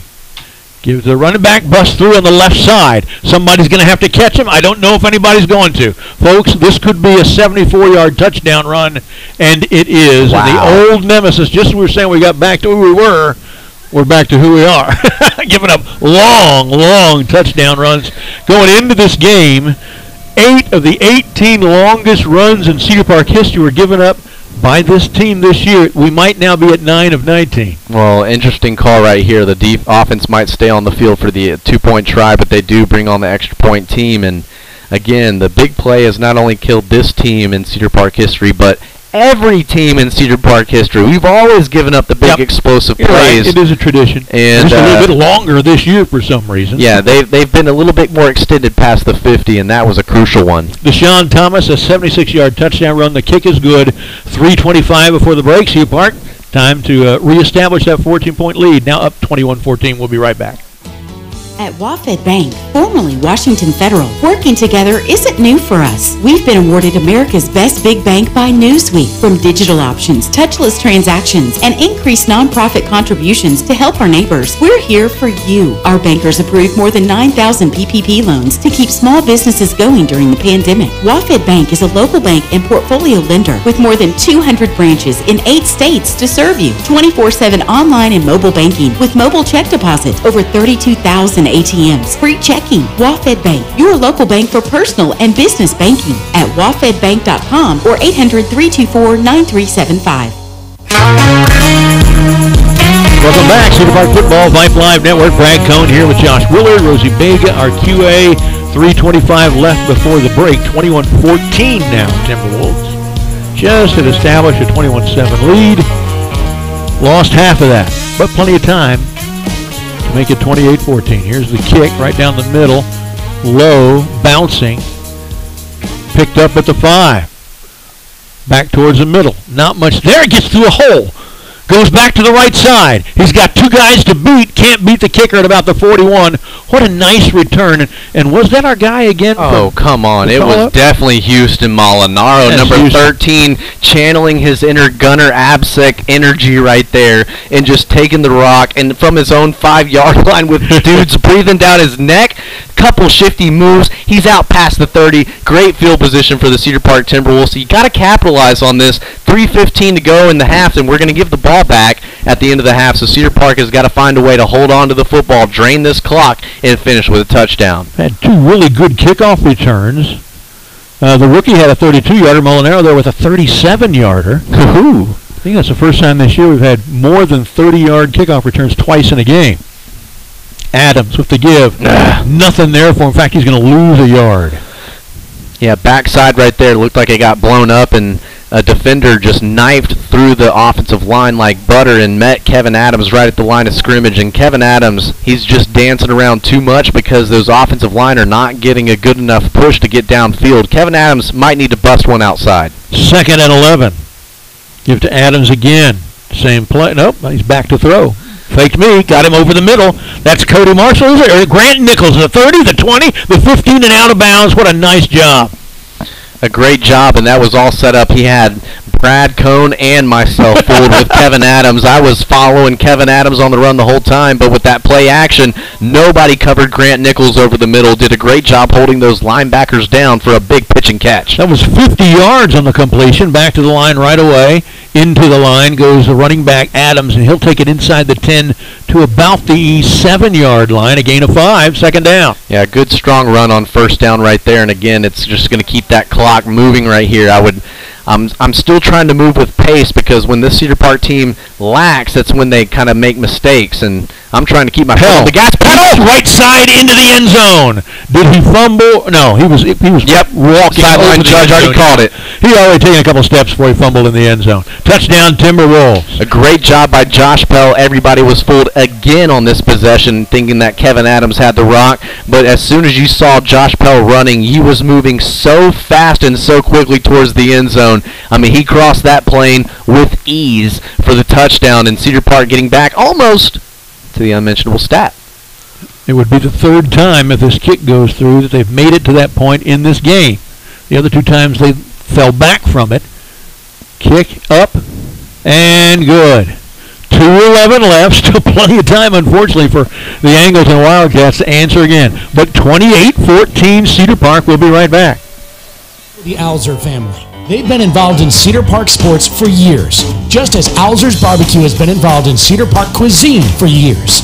It's one of a kind, authentic Texas barbecue. Brisket, turkey, chicken, lamb, terrific sides and sauces. It's sheer succulence.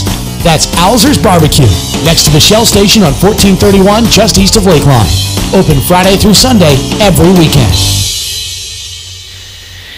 Shop Academy in store or online at academy.com, and you can find the hottest sports gear and casual styles from Nike, Adidas, Under Armour, and Vans, and more. Academy makes shopping convenient with curbside and in store pickup available for online orders. And again, this is Cedar Park Football on the VYPE Live Network. The Willard of Oz here with the Via the T, Brad Cohn and Rosie Vega. Thank you so much for hanging out with us on a Friday night here in the second round of the playoffs as the Timberwolves take a 28 14 lead, 2 11 before the half.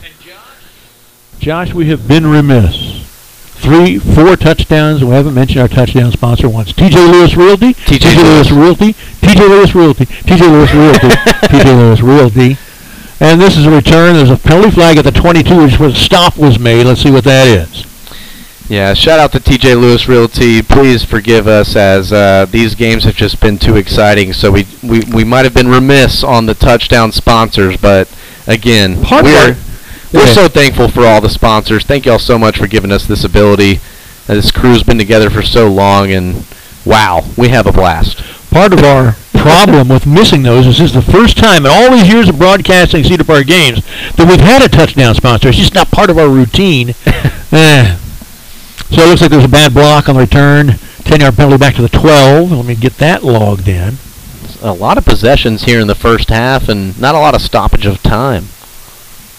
So they'll be starting at their 12 left hash, 204 on the clock. Complete left side. He's going to run out of bounds after a gain of, oh, maybe six or so. Make that five. I'm going to stop that clock at right at 159, and Cedar Park has got to try to keep containment, keep these guys in bounds, keep that clock running. Both teams holding on to all three timeouts. Goins was the receiver on that one. Cedar Park does take a timeout on this play. Line. Ewells, there's an S there. Back to throw is Ewells. Looking left side, flush from the pocket, going right. Looking, throwing downfield into some coverage and too long. Good coverage on that play by Cedar Park. Just a long incompletion.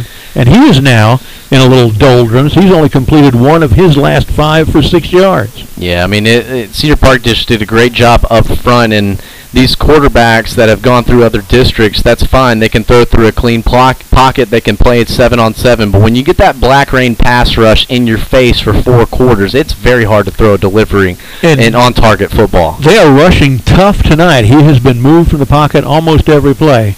Here's an around. Goins in the backfield, and he is stopped for a big loss of about seven yards. Back to the 11. Who made the play, Josh? That was a great job by the cornerback staying at home as well as the safety and Luke Kaharski there getting some uh, uh, getting some right there as well as George Wheeler, the backside corner, doing a great job. It looked like Angleton was trying to do some trickery right there. It's just too late in the game for trickery. Create a good pocket for your quarterback and try to get your receivers open downfield. That's just an interesting play call there on third down to do a trick play. And Cedar Park calls a timeout with 129 left to see if they can even add more to the lead. But I think seeing them running some kind of odd-looking plays to me is a sign of an admission by them that they can't figure out what works against the Black Rain. Right, and the Black Rain is doing a great job up front in the trenches. You can give a shout out to Brendan Payne, Ian Ferguson, and Big Murr. Big Murr. Big Murr. Doing a great job controlling the line of scrimmage and giving opportunities for these linebackers to open up and make free plays as well as the defensive backs. Shout out to the Ball Hawks here in this ball game. They've done a great job of matching up with these receivers and locking up in coverage to where this quarterback can't make throws, and now they're forced into a fourth and 11 from their own 11-yard line. Punt formation, left hash mark. Our man is at a 41. They're 41. So again, unless this hits the ground and rolls, we're going to end up with some decent field position with about a minute and a half left. Snaps good. Very little pressure. Gets it away. Ooh, not a good 10, punt. 20. 23 yards and a fair catch at their 33, 22 yards. I love that from Houston Molinaro. Don't let that bounce and take a good bounce Yes. get him to midfield. Come up and field that. Get your fair catch to where you're completely safe and protected by the officials. And now Cedar Park now within striking distance with a minute 31 to go. Can we get up 21? I hope so. Oh, we ha- I mean, and this offense has done it the entire game. They've been doing it with a healthy dose of running as well as going through the air. And Josh Pell, I'm trusting him right now to make a deep throw towards the end zone. Only got one timeout to work with. Might want to use the sidelines and uh, Absolutely. purpose-built incomplete passes if there's nothing there to stop the clock. You only got one timeout. Might need to use it for field goal. Back to throw is Pell. Good protection. Now he drifts to the left. Throws left side sideline out of bounds. A great diving catch over there by Gruyon, but he was two or three steps out of bounds. Yeah, that was Good from practice. the, uh, from the uh, S- Stephen F. Austin commit, Nick Gruyon, who committed for the track team out there and did a great job of trying to toe tap there on the sideline, but a little bit out of bounds. I'm telling you, we got enough weapons out there to go make big plays downfield. Give him a give him a 50-50 ball. We'll see how it turns out. But again, incomplete, so stops the clock. Buck 22. Three receivers left, two right. Nobody in the backfield with Pell. Back to throw. Quick throw to the right side. and He overthrows Cody Marshall out of bounds. So again, Pell kind of streaky. He'll have several completions in a row, and then a string where he has, you know, he's, you know, one for X, and he's in a one for X right now.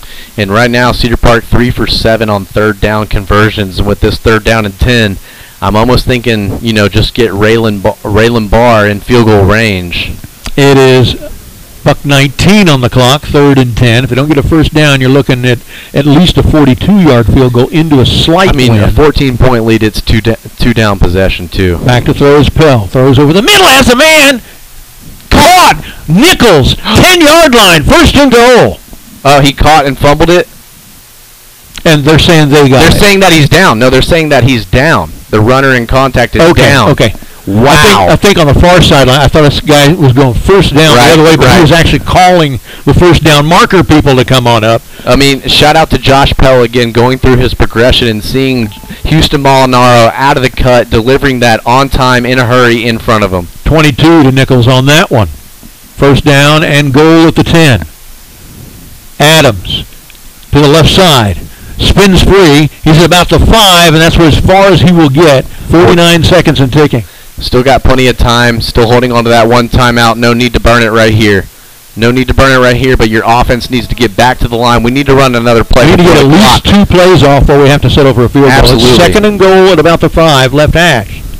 Pell takes a high snap. He's going to run. Oh, he has a man wide open to the hash. Hits him for the touchdowns. Is that Edwards? Looked like an 8. Joseph had Oh, Grant Nichols. A great job by the tight end getting lost in coverage. It looked like he was going to seal on that linebacker and just drifted off into the flats, and Josh Pell didn't waste any time delivering the rock to his Mr. Reliable. Grant Nichols hauling it in for the big touchdown right before half. My goodness, Brad. Nichols at 90 yards receiving on the night. I mean, not even is- at halftime. He has really come along since that Weiss game.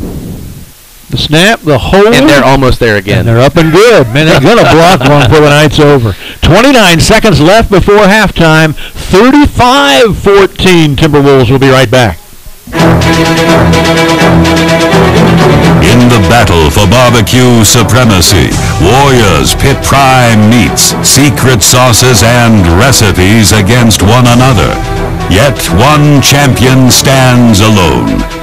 Rudy's Country Store and Barbecue, in the modern day vernacular, where bad means good. Rudy's Country Store and Barbecue has the worst barbecue in Texas. Welcome back to Cedar Park Football on the VYPE Live Network. The Willard of Oz here along with Brad Cohn and Rosie Vega hanging out as our QA and the Cedar Park Timberwolves. My goodness, with 29 seconds to go here in the first half on top now. 35 to 14 on the connection from Josh Pell to Grant Nichols from 5 yards. The kick good from Raylan Barr. For Cedar Park, 21 points in the last seven and a half minutes. what? Is that number 4 out there? Is that, right, is that Ryder Hernandez out there? Good for Josh. Good for everybody. Doing a great job out there. Here's the kickoff by the Norwegian Nightmare. Deep left side, caught at the six. Going to run it right up the numbers near us. Now cut to the middle of the field. Carry on is the guy past the 20, now up the left sideline, and he ran about 85 yards to get oh, probably a 20-yard return. Yeah, that was a lot of running right there and a great job of everybody running their lanes. Again, Garrett Gasley, number 10, did a great job. It looked like he was that backside gunner on the hash mark. And as much as you want to start funneling to the football where it's received, you have to keep running your lane. Everybody doing that right there, and you see the ball carrier get strung out all the way to the sideline. Again, 80 yards for a five-yard carry. First and 10, Wildcats there, 29 left hash. Play action fake, complete left side at the line of scrimmage. Sidesteps a guy, goes forward for about 11. Let's see who that is. the number 15 ball carrier in Big Murr. Whoever that is hurt himself. I think he fell on the ball. Yeah, Big Murr actually, actually landed on top of him, and uh, that's what you want out of, out of your defensive lineman. That's incredible. that's incredible that your defensive linemen are able to get off of blocks and get downfield to go make an open field tackle. And I'm sorry if you're leaving yourself vulnerable like that. Big Murr is going to have an opportunity to lay on you, and and that's the part that's crazy in the NFL game today about the defensive line and the defensive backers that they're not allowed to land on the quarterback after the contact. How can you adjust? I don't know how you can avoid that. How sometimes. can you adjust yourself in midair? Yeah. Right there, Murray Robinson. Uh, he's tackling the person in forward progress. He's going to lay on him. I'm sorry. Yeah. That's, that's just how it is. Well, they got a first down at the 40. It's their seventh first down of the game, and that's only their fourth real completed pass. Their touchdown pass of seven yards was uh, a shovel out of the Wildcat that ended up in the hands of the normal quarterback when he scored. 12 seconds left. They're 60 yards away. Snap. Back to throw. Slant inside from the right side, complete for about five. Clock's ticking for, and I guess a timeout is called. Five yard gain. Stop the clock with four seconds.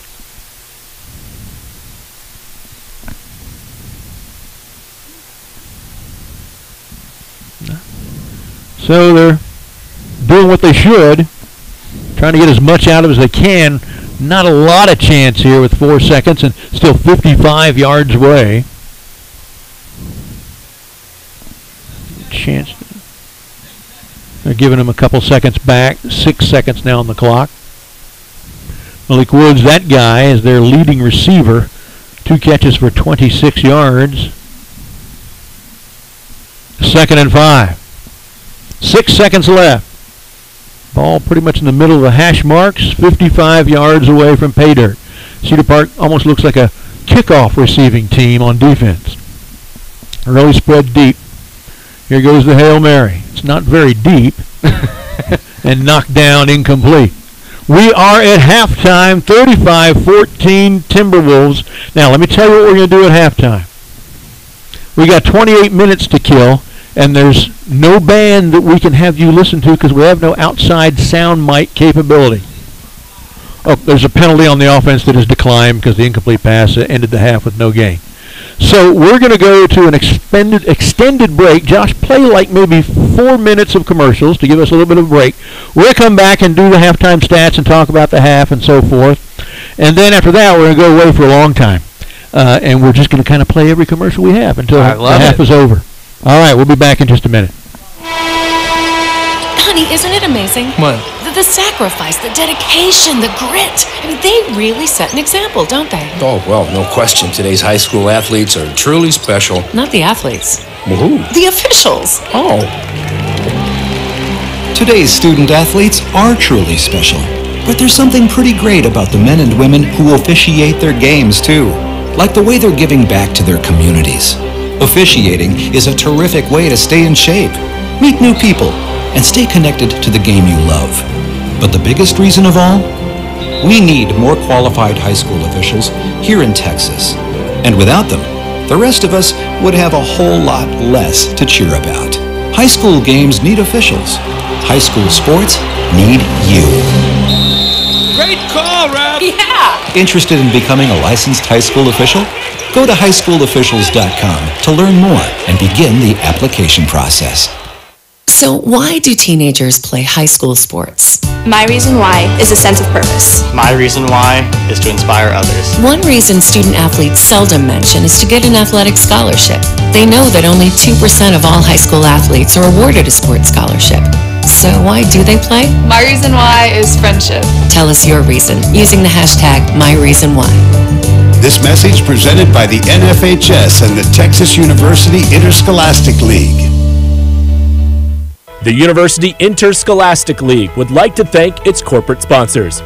Without the generous support of these sponsors, many UIL activities would not be possible. The UIL gives special thanks to Balfour, Baylor Scott and White, Dairy Max, Dairy Queen, Ford, Fox Sports Southwest, Gatorade, Hellas Construction, MaxPreps, the NFHS Network, Nike, Register My Athlete, Spalding, and Texas Farm Bureau Insurance. These generous corporate sponsors support the UIL in all its activities music, academics, and athletics. The UIL appreciates these sponsors and their participation in all that the UIL does in Texas extracurricular activities.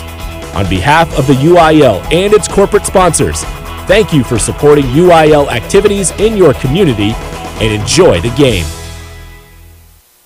Question.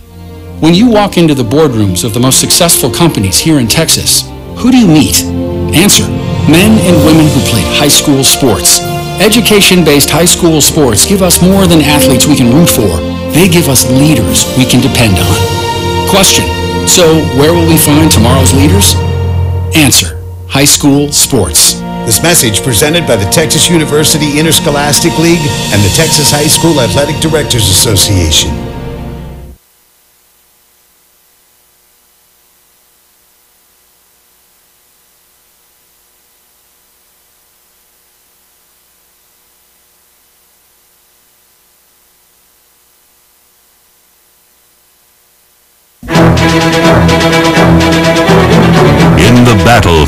Barbecue supremacy, warriors pit prime meats, secret sauces, and recipes against one another. Yet one champion stands alone. Rudy's Country Store and Barbecue, in the modern day vernacular, where bad means good. Rudy's Country Store and Barbecue has the worst barbecue in Texas. At WaFd Bank, formerly Washington Federal, working together isn't new for us. We've been awarded America's Best Big Bank by Newsweek. From digital options, touchless transactions, and increased nonprofit contributions to help our neighbors, we're here for you. Our bankers approved more than 9,000 PPP loans to keep small businesses going during the pandemic. WaFd Bank is a local bank and portfolio lender with more than 200 branches in eight states to serve you. 24-7 online and mobile banking with mobile check deposit, over 32,000 ATMs, free checking. WaFd Bank, your local bank for personal and business banking at wafdbank.com or 800-324-9375. The University Interscholastic League would like to thank its corporate sponsors. Without the generous support of these sponsors, many UIL activities would not be possible.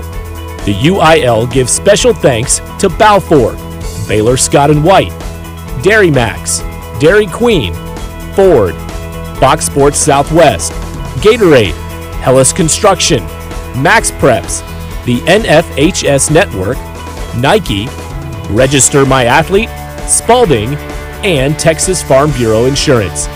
These generous corporate sponsors support the UIL in all its activities music, academics, and athletics. The UIL appreciates these sponsors and their participation in all that the UIL does in Texas extracurricular activities. On behalf of the UIL and its corporate sponsors, thank you for supporting UIL activities in your community and enjoy the game. So, why do teenagers play high school sports? My reason why is a sense of purpose. My reason why is to inspire others. One reason student athletes seldom mention is to get an athletic scholarship. They know that only 2% of all high school athletes are awarded a sports scholarship. So, why do they play? My reason why is friendship. Tell us your reason using the hashtag MyReasonWhy. This message presented by the NFHS and the Texas University Interscholastic League.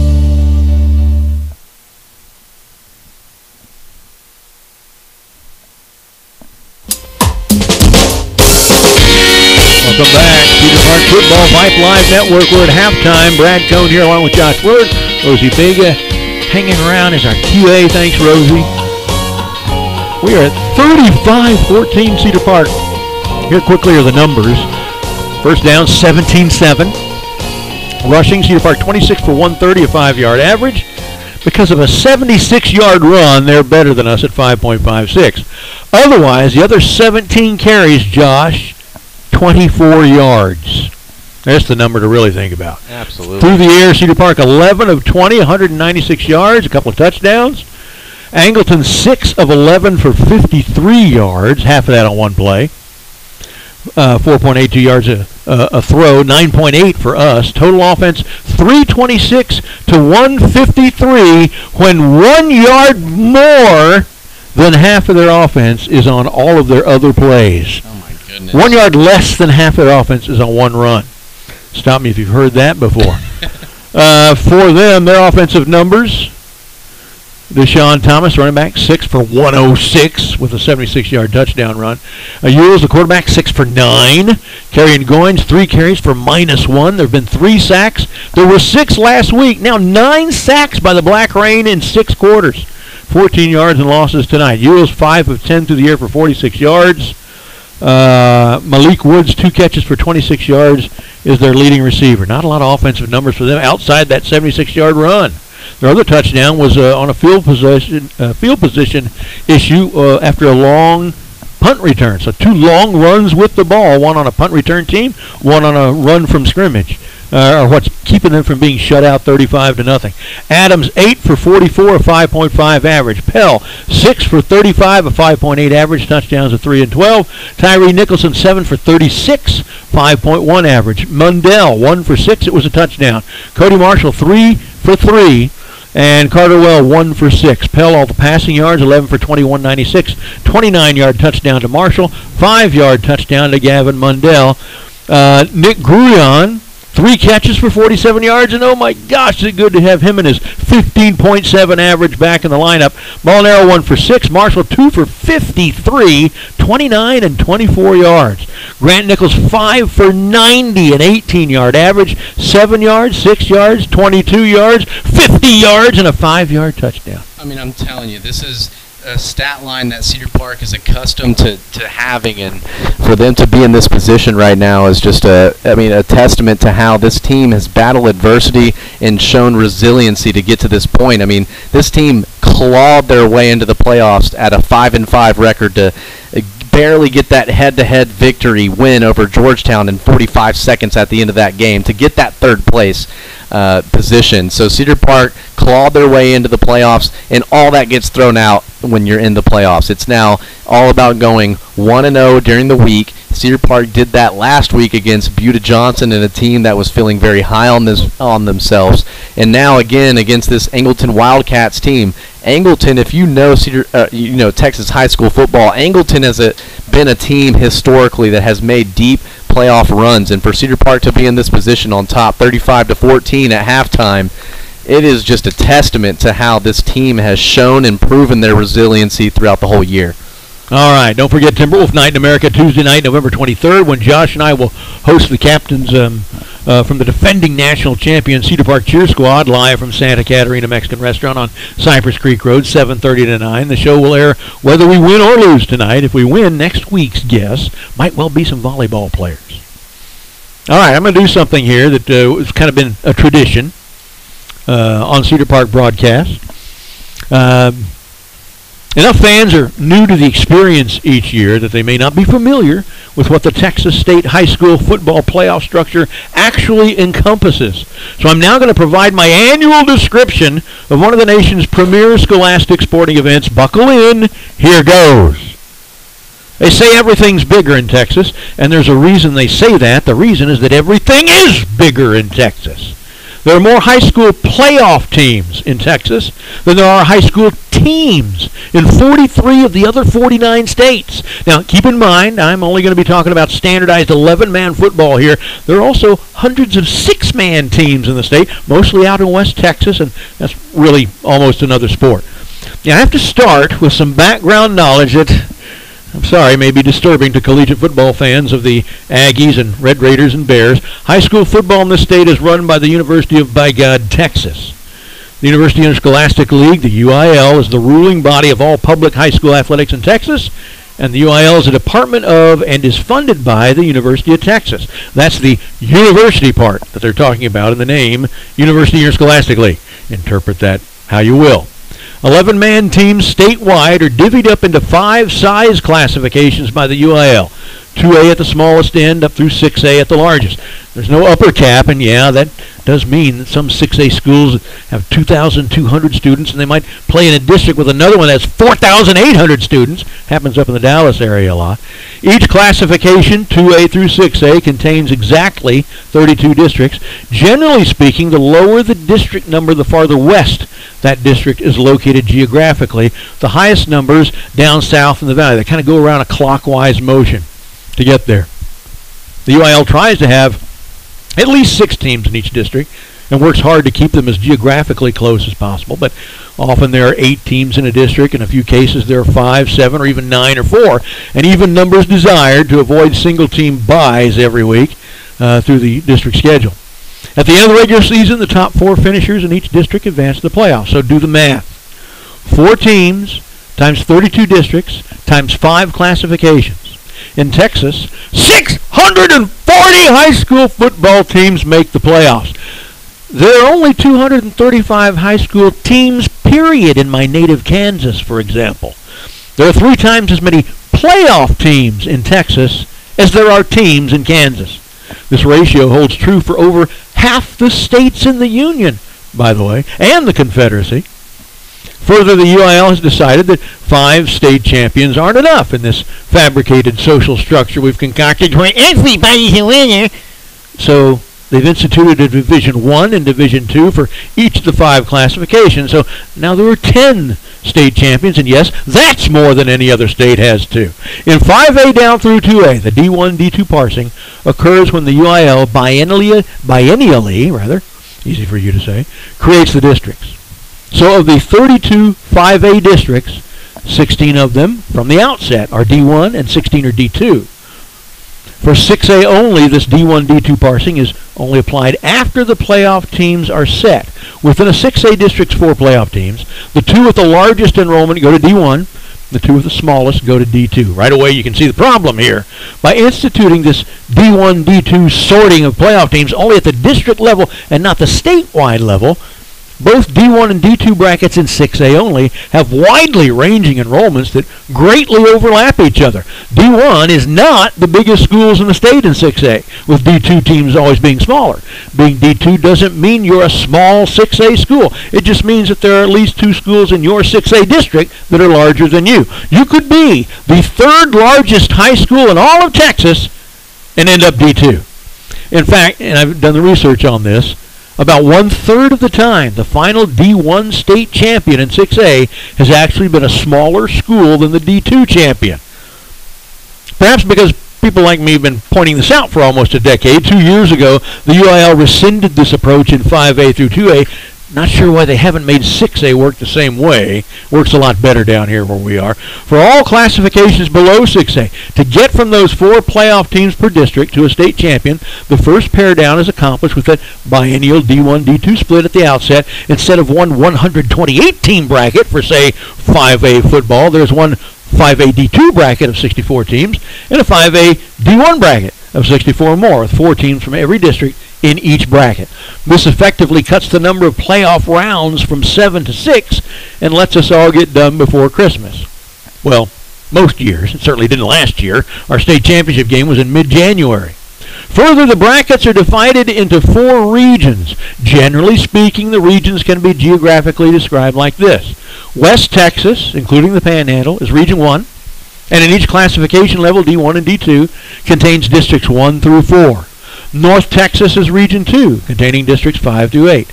East Texas is Region 3 and contains districts 9 through 12. And that's where we are, is District 11 5A. South Texas is Region 4 and contains districts 13 through 16. Because of the disparity of population distribution, this geographical parsing isn't strictly true as the region boundaries have to gerrymander some through the large population centers of the Dallas and Houston metro areas and even a little bit around Austin but it's still a fairly accurate way to describe the regional arrangements. Yes, you probably surmise that this means it's a possibility that at the 6A level, both Texas state champions in a given classification could end up coming from the same district. If one of us district's D1 teams wins a D1 bracket, and one of its D2 teams wins that bracket. In our old District 25 5A, twice that almost happened when they were still doing 5A that way. It was in 2012 with Cedar Park and Rouse, and then in 2015 with Cedar Park and Vista Ridge. In both years, Rouse and Ridge fell in the state semifinals in the D1 bracket, and we won the D2 state title. In 2015, it almost happened in 6A as a district championship Lake Travis team and runner-up Westlake both made it to the D2 and D1 state championship game, but both lost. Round one, what we played last week, is called by district and has a higher finishing team from one number district host a lower finishing team from the next number district. That's why Cedar Park, third place in 11-5A, played at Buda Johnson, the two seed from 12-5A, and why Weiss, our district's top seed, hosted the four seed from 12-5A, Seguin, and so on down the line. The top two seeds always host the three and four seeds. So Weiss and Manor got first round home games out of that deal. Round one cuts the number of teams in each bracket in half. After last week, we were down from 64 teams in the 5AD1 bracket to 32. After the area round, or round two, sometimes also called the regional quarterfinals, which is this game tonight, the bracket will be cut down to the Sweet 16. In fact, the 10, te- uh, the 10 Texas State High School football playoff brackets follow each of them exactly the 64 down to 1 in 6 rounds pattern of the NCAA March Madness basketball tournament. Only in football, you can only play one game a week, not two. So our football tournament lasts twice as long as March Madness, six weeks. After the second round games, the winners will advance to games that are called the regionals. Again, just like March Madness, we would move on to the Region 3 semifinals, followed by the Region 3 finals in round 4. When those two, and you're in the equivalent of the Final Four, the four Texas regional champs play two state semifinals and then a state championship game. And that is how it works. Six solid weeks of one night stand, do or die death matches for the teams that make it all the way to the state championship game, which we have done four times and it is most definitely one hell of a rush. And remember, we've got both D1 and D2 and 2A through 6A all doing this simultaneously. Imagine, if you can, 10 NCAA basketball tournaments and the number of games and teams and all the logistics that would involve. Get your mind around that and you've encompassed the totality of the Texas high school football playoffs. The crowning event of the national sport of Texas. There is nothing else like it in the entire nation. Now, folks from what we Texans call the outlying areas may ruffle a bit hearing this, but hey, we've got this braggart reputation anyway, so here goes. When you're anointed as the best team in Texas, it's a bit more of an accomplishment than championships in other states, and I'm talking strictly about scale here, even if the quality was the same, and actually it isn't based on population and number of teams, being the best in Texas is comparable to, say, if there were some mythical high school championship that a team from perhaps Birmingham, Alabama could win that made them the champion over every team, not just in Alabama, but also those in Georgia, South Carolina, and North Carolina. That would almost be the equivalent of the number of teams that would finish below you in Texas if you won that state title, but you'd actually still have to throw Mississippi into the mix to get to the same approximate population and number of teams. So being the best in one of the four regions in Texas is actually slightly more impressive in scale than being the state champion in any of those five states I mentioned. And to slide the comparison northward a little, the state champion of Texas has conquered the number of people and schools and teams equivalent to the entire states of West Virginia, Kentucky, Ohio, and Pennsylvania put together. That's why Texas high school football is the premium grade blend of scholastic sports in America because, yes, everything is bigger in Texas. And now Josh has something he wants to talk to you about. Oh, we're not going to do that? Well, you know, I'm trying to get it pulled up, but I, I the Wi-Fi here, I'm not able to join, oh, shoot, so shoot. it's not pulling up and loading fast enough. But I well, tell them what it is, tease them, because next week, if we have a game or at Timberwolf Night in America, we will do this. Well, we had an opportunity where uh, one of Cedar Park's very own last week was on the field for a, a, big moment in the Baylor Bears taking down the Oklahoma Sooners in a big Big 12 matchup. And on the field during that game, you would see flashes of number 34, Josh Cameron. And again, this, was, this was not a five star, this was not a four star. Hell, he wasn't even a one star recruit. This was somebody that came in completely under the radar even though he was on one of the most prolific offenses in Texas high school football history.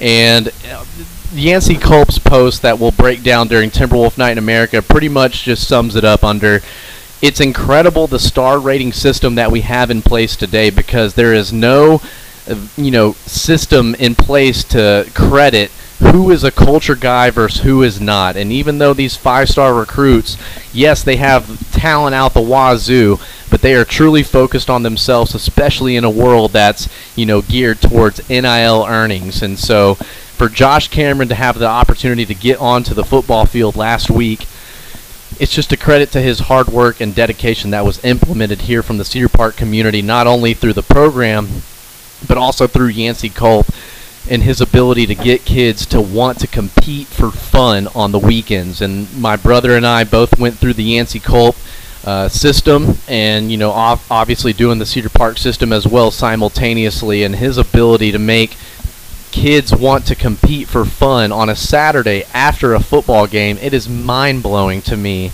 how long he can keep kids at the football field after a game just wanting to get better. And I mean, you saw last week, we saw videos of this particular Cedar Park team after getting a first round win against the Johnson Jaguars. They go over to Leander to go to that pit over by Leander High School and running Brushy Middle School, and they're running hills and it's not just you know the starters. This is a lot of kids in the program that are showing up to run these hills in the off season as well as in the playoffs, even after a victory. So, uh, just want to give a shout out. Yancey Culp made this post about you know the not getting this the light of the four star and the five stars from the Cedar Park community, but I uh, the the mo- the point of this you know talk about this post is also giving credit to Yancey Culp and just thanking him and giving him his flowers uh, for investing his time and commitment to the Cedar Park community all the way back 10 years ago when my brother was trying to get recruited by Baylor University and Yancey was you know honing in my brother's 40 yard time and personally working with him to make sure that he could perfect his craft to get to the next level, but always with the mindset of helping out this Timberwolf football team. And so far, that's what we've seen tonight. We've seen a collective team effort on the offense, defensive side, as well as the special teams unit. And it's just exciting to see this Cedar Park team that has crawled their way into the playoffs to look as formidable as they are right now neat for to think about uh, for J Cam, Josh Cameron last year playing Anderson and Leander, and then last weekend he played Oklahoma. I mean, really cool. And to to have that Big 12 emblem on your jersey and you know being able to get on the field as a true freshman, it's a credit to Josh Cameron's you know just innate ability to fit in, not trying to be the guy but just fit into the culture and just gelling with the culture that's already there. Um, Josh Cameron earning his spot to get on the field as a true freshman in the Big 12. It's amazing. And being such a class act, my, my wife and I, Sherry and I, were at the uh, uh, the Vietnamese donut shop. I can't remember what it's called. It's over there. Uh, oh, it's it's behind uh, Dunkin' Donuts near there. Anyway, it's, it's the donut shop we prefer. We were there standing there getting ready to take our order one day behind some people, and then I noticed there's a guy behind us. It's a tall, young black man. And It was Josh Cameron waiting behind us to take down. So I introduced him to Sherry, and he and Sherry started talking. He shook hands, smiled, and chatted her up a little bit. We got our donuts, and we all left. And as we were leaving, Sherry says, "That was such a nice young man." Well, that was Josh Cameron. Well, I finally got it loaded, so I'll briefly run through it. I'm still beyond proud of this young man, Josh Cameron, aka J Cam, a five-star culture and zero-star actual rating in the system. The young man that Baylor did their research on and got him on campus. Josh had an epic high school stats. He received no D1 offers, but props to Baylor. Yes, he's on the field as a true freshman, help, helping take down Oklahoma last Saturday. I had the amazing opportunity to work with Cedar Park Timberwolf. Uh, had an opportunity to work with this Cedar Park Timberwolves in seventh grade, and his 100% as a five star culture kid. He comes to work and sets the standard. He always brought a high level of respect in the process to every training session. It was, yes, sir, I'm ready. The biggest thing to point from this, and you could tell this about any Cedar Park kid from what Yancey said, any D1 coaching staff who sat down and talked to Cedar Park coaching staff would get 30, re- 30 minutes and 30 reasons why you want this young man on yeah, your team. No kidding. You can say that about anybody on the Cedar Park roster because they come from a culture of winning and come from a culture of helping out their brothers. It's not about themselves. Shout out to Yancey Culp. That was a beautiful way to, to put it into words about this unseen star that Josh Cameron is. You know, Yancey is such a vital part of, of our culture for football at Cedar Park and our operations. Uh, we can't do without Yancey Culp. He's just part of this institution. Now my machine has gone down for a moment, so I'm going to be in dire straits to get the stats updated because we're about to do the kickoff. I'm powering the machine back off. Cedar Park kicks off into the end zone, and Angleton will bring it out to the 25. And uh, I got to find some way. Guess I'm going to have to borrow your pen, Josh, for a little bit to scratch down some stuff. Go ahead and while, scratch while down. we're while we're waiting for my machine to come back up. So when it does come back up, I can get these next couple of plays put in. Cedar Park will start out. I mean, excuse me, Angleton will start out from the 25 between the hashes, going left to right. That's north to south. Just a few moments ago, I saw the field goal kicker banging them in from 50 yards out here. Quarterback Ewell gets an opening on the left side. He tiptoes through some players, fumbles the ball away in midfield. Do we get it? Our players say we got it. Theirs say they got it. Uh, it looked like Cedar Park cu- jumped on that football, but Angleton coming off the bottom of the pile by a gift of the football gods. Oh my goodness, a 25-yard gain Excellent. and a first down. I'm going to grab my pen just to make sure we're keeping us honest. There you go. That machine is starting to come back. So far, I've only missed two plays: a kickoff and that 25-yard run for a first down by the Wildcats. Back to throw. Actually, he's going to give it into the line. This is his running back to the left side for four, down to our 46, uh, and that is uh, Deshaun Thomas for four. A great job by Cedar Park keeping that outside contained. Reed Vines right there, number 42, the outside linebacker, just did a great job of pushing upfield and not giving up any ground. Second and six, 11 17 and ticking there at our 46. Left hash. Three receivers right, two left. Man in motion now, four on the right. Quarterback takes. It's Goins, actually. He took the Wildcat running left side. He should have the first down Wow, out of bounds short. right at the marker, the 40, which would be a gain of six. Yeah, they do give him the first. I thought he was going to get out of bounds short just by a yard, but a great job again by number 44, Brendan Payne, getting down the line of scrimmage and forcing that quarterback, or excuse me, ball carrier towards the sideline. And it looks like they're going to go with that Wildcat. Carry on Goins. He is again in the backfield. Only man there to take the direct snap. Three receivers right, two left. First and 10 at our 40 left hash. Man in motion now. He's going to follow him to the right side. This is a good offense for them. He's going to get five down to the 35. Second down. Oh, big Murr right there, ready to wrestle him down, and that's fine that Goins got out there in a hurry to make a good carry on first down, but he got brought down hard to the turf, and I guarantee you, you're not going to want to keep doing that, trailing a team by 21 points. You're going to get tired Yeah. of those hits. 10:39 and taking second and five from our 35. Three receivers right. Back to the standard formation. Ewell takes it himself, and he is stopped uh, behind the line for a loss of one on the running play, and it looks like that was Brendan Payne. A great job by Brendan Payne beating his man and just fighting down the line of scrimmage to make there no gain on a play. Great job by this front defensive line by Cedar Park again. That 3-4 defense, you're asking a lot from these guys up front to win these double teams and fight off the blocks to make plays at the line of scrimmage, and they're doing it tonight. Big play, third down and seven from the 37 back to throw. Throws towards the slant, overthrows one guy and underthrows another. Incomplete pass. Yeah, that was just a, a, a very rushed throw right there and off target, so it's going to be incomplete. No flags on the play. The offense staying on the field, trailing by 21. I think they have to, You yeah. I mean, and especially in Cedar Park territory, you got to go for it. Fourth and seven.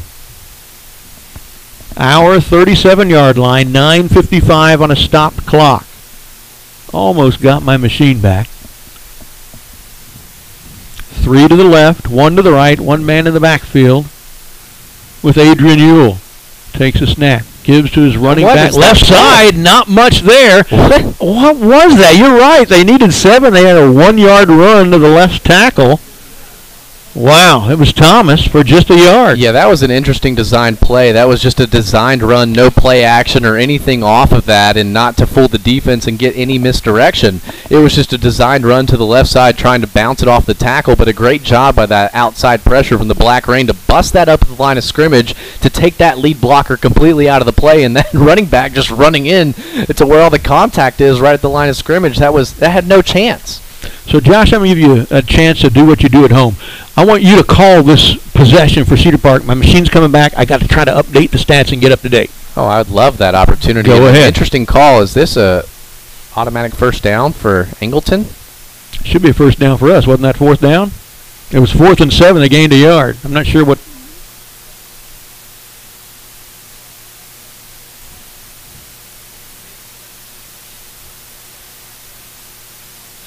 Okay, good. It was after the play. That's what I was waiting for. You couldn't hear it, but the referee gave unsportsmanlike conduct penalties to Cedar Park and to Angleton. Since it was after the fourth down play, we still have the ball, and since they offset, there's no yardage assessment. First and 10 Cedar Park for Josh to call it at the 36. Absolutely. Josh Pell and company getting back out, ready to start this possession from our own 36-yard line. Kevin Adams checked into the backfield at running back just to the right of the Pell.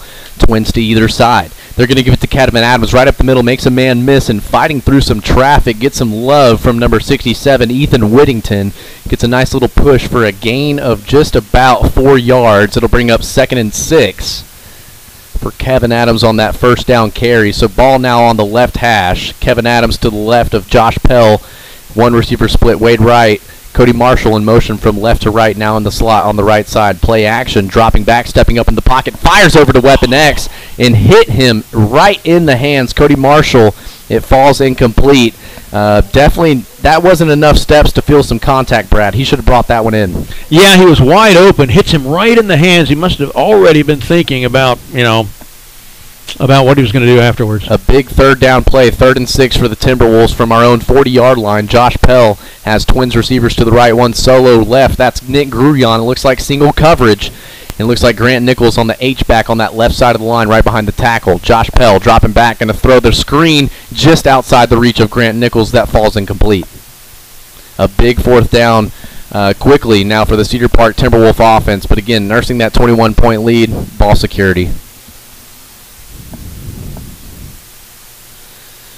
So Cedar Park looking like they're going to bring on the punting unit and sophomore Connor Schutte coming on the field now. He's going to be standing at our own 25-yard line.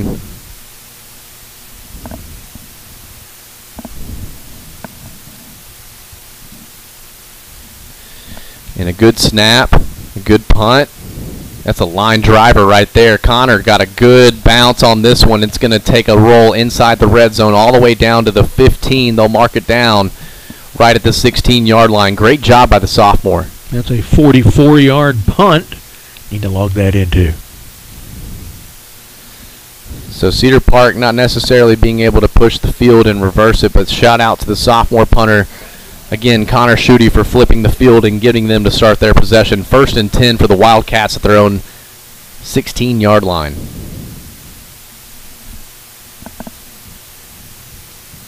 Okay, got all theirs in. Now to get ours in from this last possession, so stay at it, Josh. That's right. Angleton Wildcats now doing the design run and big murr there for the stop behind the line of scrimmage. You got to give a shout out as well to number 46 Christian Cockrell, I believe. That is Christian Cockrell, the senior linebacker, doing a great job getting upfield and big murr just laying down on that quarterback behind the line of scrimmage. It's going to bring him for a yard loss. It'll bring up second and 11, 8:45 and ticking here in the third quarter. Cedar Park on top, 35 to 14. So the Wildcats play action, dropping back to pass, looking towards his left, pump faking. Still got a lot of time, but stepping up into the pocket, avoiding some pressure to his left side. Christian Cockrell stepping up, and Jake McAnally there for some pursuit, and the quarterback wrapped up for a minimal gain of only two yards. It'll bring up third and nine. All right, I finally got my machine back up to date. So, yeah, I have your pencil back. Nice job doing that. We're down to 8-10 of the third. Lead still intact at 35-14, and Josh has narrated them to a third and about nine at the 17 left hash. Two receivers either side. Standard 3-4 defense for Cedar Park. Ewell takes the snap, rolling right. Looking, looking under some pressure, throws it far down the sideline and out of bounds. Incomplete. Fourth down, and Cedar Park's going to get the ball back. Yeah, great job by Cedar Park, especially on the back end. Those defensive backs doing a great job going step for step. But again, it's that defensive pressure. It's easy to make a throw in practice. It's easy to make a throw in seven on seven when you don't have a live rush. But when you have the Black Rain front seven screaming down your neck, I mean, God bless you for trying to get that off in time. And I mean, he did, but I mean, it's just off target, out of bounds by five yards. It's just hard to play against this Black Rain. So their first possession, a net of one yard. Punt. 10, 20, 5, 6, 26 yards to the 43. Wow. Here are their punts tonight, Josh. Not terribly impressive. They did have a 54 yarder on a roll. The others 25, 24, 26, 22. Unbelievable. I mean, and Cedar Park is has been capitalizing on that field position. We've had one possession where we didn't capitalize that started in their in eh, you know in their territory, but Cedar Park has done a great job offensively keeping their foot on the gas pedal. We haven't gotten in the end zone in the second half. We really need a touchdown right here. First and 10, 43 yards out, right hash.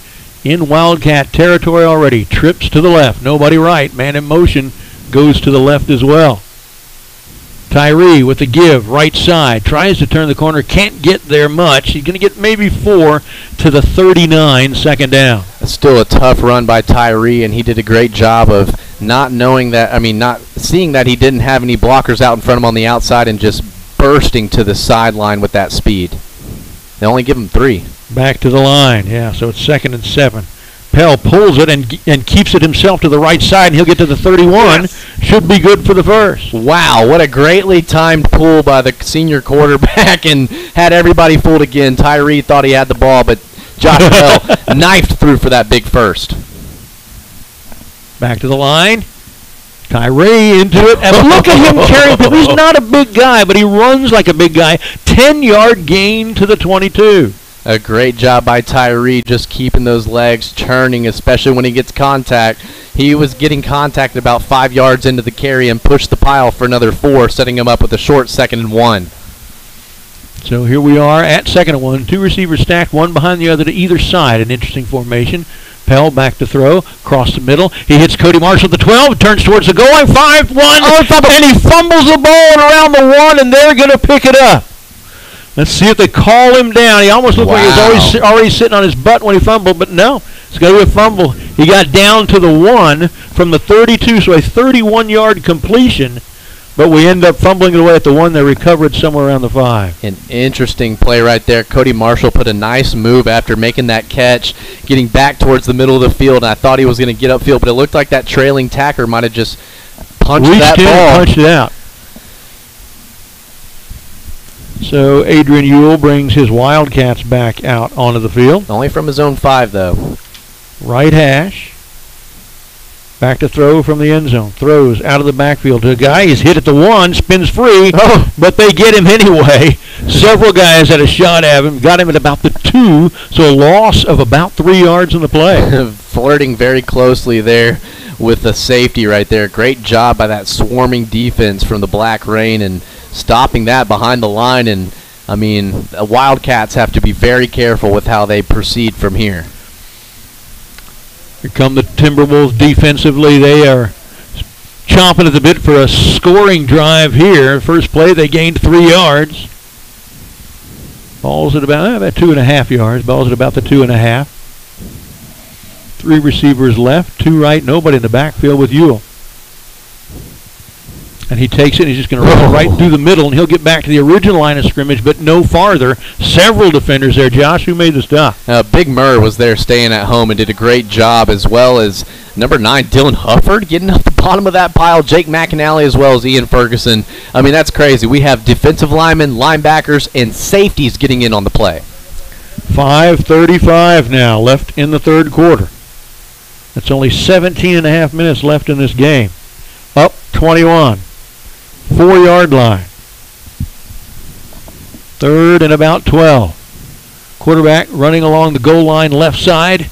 Has some room. Is he going to get? He's going to get very close, but out of bounds short, I think, at the 14. Yeah, that, gained 10. He needed 11. Yeah, that ball stretch there at the end looked like it was enough, but that's just because his go-go go-go gadget arms. That looks like, but they do bring on the punting unit. It's going to be about a fourth and three, so that is very close and uh, that's very tight to try from your own 13 yard line.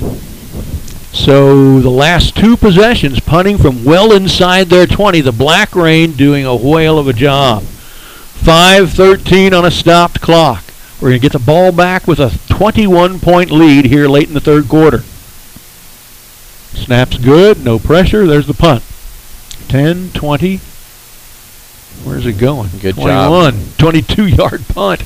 Okay, we'll take that. We were talking about their punts a moment ago. Add a 22 yarder to it.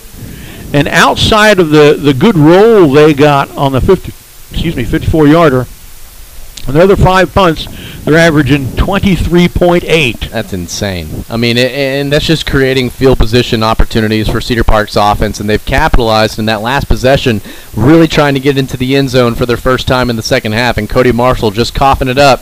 Now, the Black Rain did a good job holding up. Let's go ahead and get one Yeah. to Cody Marshall. Let's do it again. He'll hold on to this one. Same receiving formation with two guys stacked one behind the other wide to either side. This time's a give to the running back, and boy, they just can't do much with Tyree. Should have been no gain. He's going to get about three.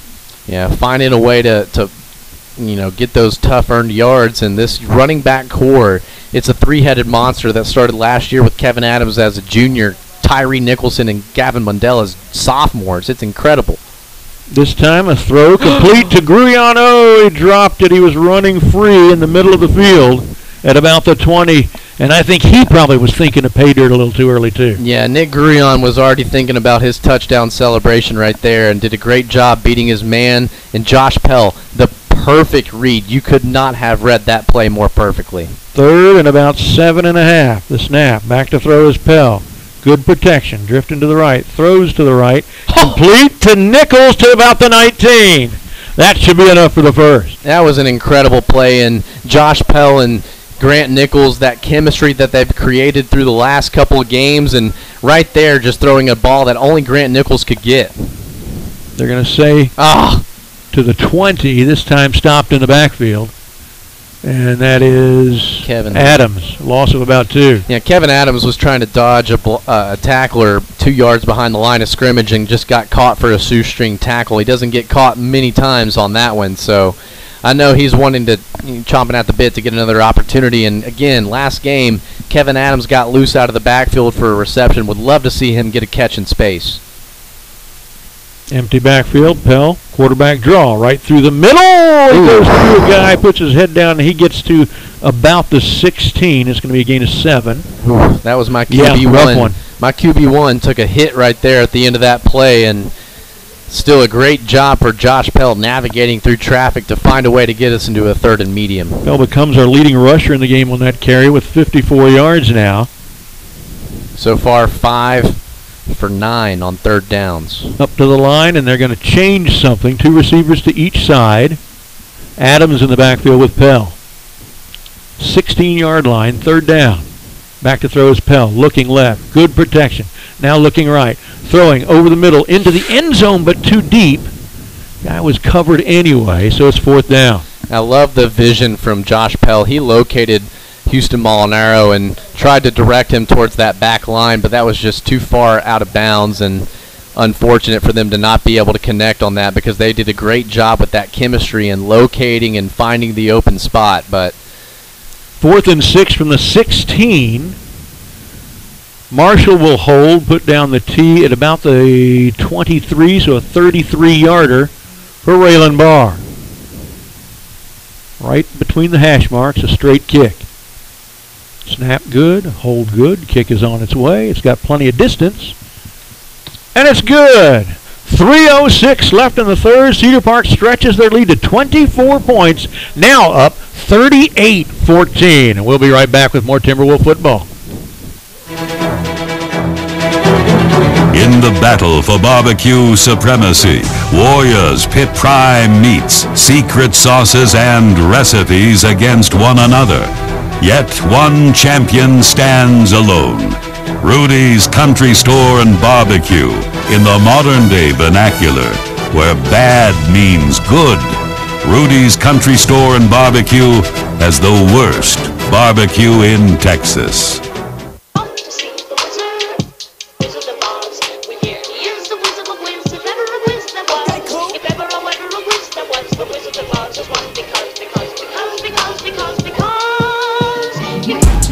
And welcome back to Cedar Park Football on the VYPE Live Network. The Willard of Oz here along with Brad Cohn, the Via the T, and Rosie Vega, our QA. We want to give a shout out to Cecil Kokenauer holding it down back home in the Round Rock area, as well as our main man, Miles Kokenauer. Shout- you may be listening to. Yeah, shout out to the Kokenauer boys. We're up 38-14, boys. 3.06 to go in the third. Cedar Park with 17 unanswered points in the last 11 game clock minutes. Here's the kick down to the six near side. Runs towards the middle of the field, and that's Goins, and he's going to be stopped at the 25, a 19-yard return.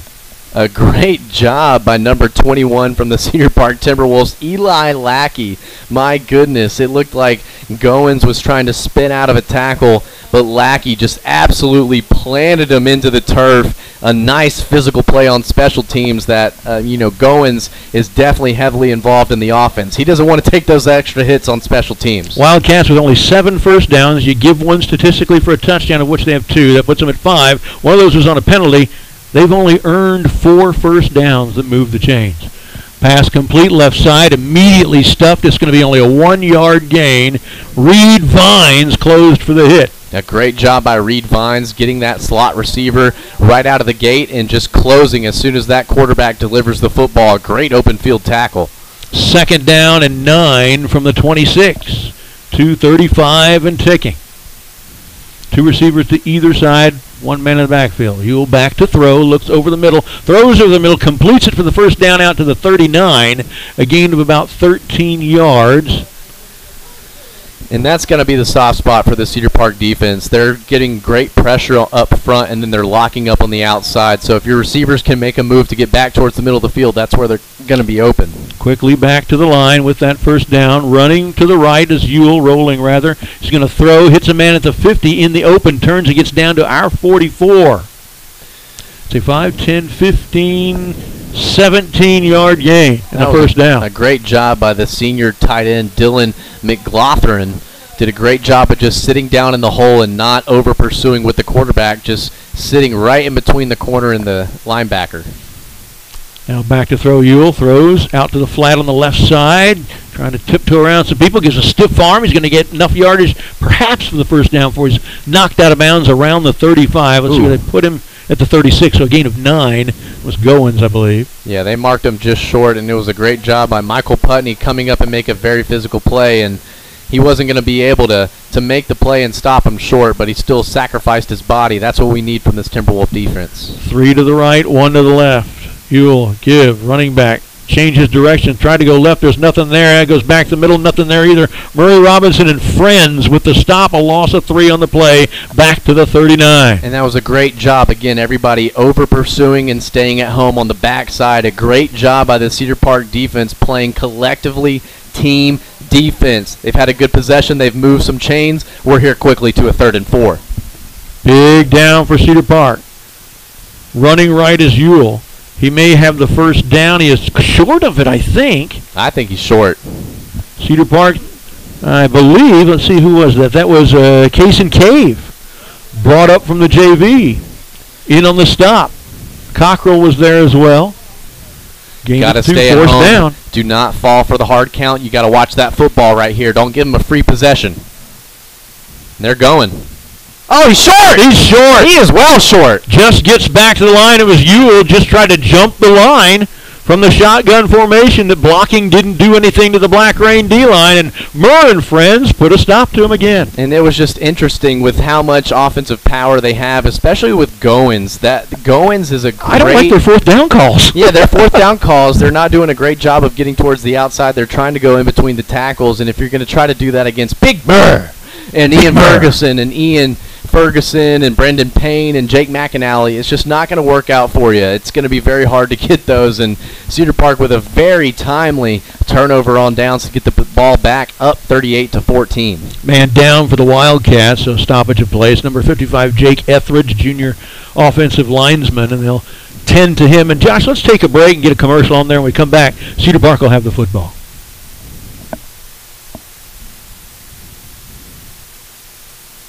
Interscholastic League would like to thank its corporate sponsors. Without the generous support of these sponsors, many UIL activities would not be possible. The UIL gives special thanks to Balfour, Baylor Scott and White, Dairy Max, Dairy Queen, Ford, Fox Sports Southwest, Gatorade, Hellas Construction, MaxPreps, the NFHS Network, Nike, Register My Athlete, Spalding, and Texas Farm Bureau Insurance. These generous corporate sponsors support the UIL in all its activities. Cedar Park with the ball, first and 10, there 36, near the left hash, northbound for only 56 more seconds here in the third quarter. Two receivers right, one left. Pell turns, gives to the running back, a good hole up the middle, 45, 46, 47. And once again, that was Gavin Mundell with his second carry of the night, first one that wasn't a touchdown. Yeah, great job by Gavin Mundell, and he had an opportunity to break that towards the sideline, but decided to get north and south and get an extra three to four tough earned yards. 12 yards on that carry in the first down. Mundell, I was watching him while Josh had a great fake, pulled it out of him, gets seven yards, goes out of bounds at the 46-yard line across midfield, second down. I mean, Josh Pell just looks so comfortable in this offense Smooth in the playoffs. It looks like he's making all the right decisions. A great play right there. Quickly back to the line. Same formation. Pell this time gives to the running back. Looks like it's Mundell Ooh, again. short. And he needed three and got two. I think that's a 22. Let's make sure. Yeah. Yeah. So it'll be third and one. Interesting, and they have the opportunity to run this out to the end of the quarter and design a good fourth and one play. Or, excuse me, it's third down. Yeah, it's third down. Okay, so then I would take the time, go ahead and take this to the end of the quarter, and I think that's what they're doing. That's what they're doing. 10 seconds or 11. Somebody's called a timeout. Huh. Well, I don't know who would have done that. Oh, that's that's that's terrible. Let's see who they bring a timeout off the field on. Uh, both teams are signaling fourth quarter, but it looks like we might have had a timeout. Well, and now they're running it. I think the stop was wrong. They they did not subtract from the three timeouts in, in either column. That's what I was looking for to see who might have called one. We are going to the fourth quarter. We'll be right back in just a minute. Oh, it's so.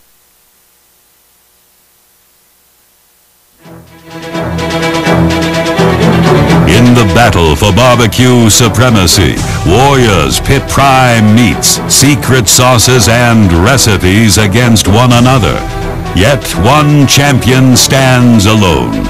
Rudy's Country Store and Barbecue, in the modern day vernacular, where bad means good. Rudy's Country Store and Barbecue has the worst barbecue in Texas. Welcome back, Cedar Park Football, VYPE Live Network. Brad Cohn, Josh Willard, Rosie Vega is our QA. Cedar Park with a third and one going southbound now, left to right on your laptop.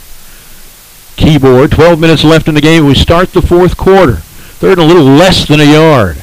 Two receivers right, nobody left. There's a wing back on the left. Pell claps, and they're going to change the play. Everybody stands up and looks to the sideline. And it's third down. Gilbert Pedraza, Coach Q, several other people motioning. We don't know who the hot one is. Third and less than a yard. The snap. Pell runs by himself left side, turns to field. He has the first down a little bit more inside the 40 to the 38 yard line. I mean, a beautifully designed play. You get Kevin Adams out in a hurry, lead blocking, and Josh Pell, with his football IQ, just knows when to put his foot in the turf and get north and south, and did a great job right there.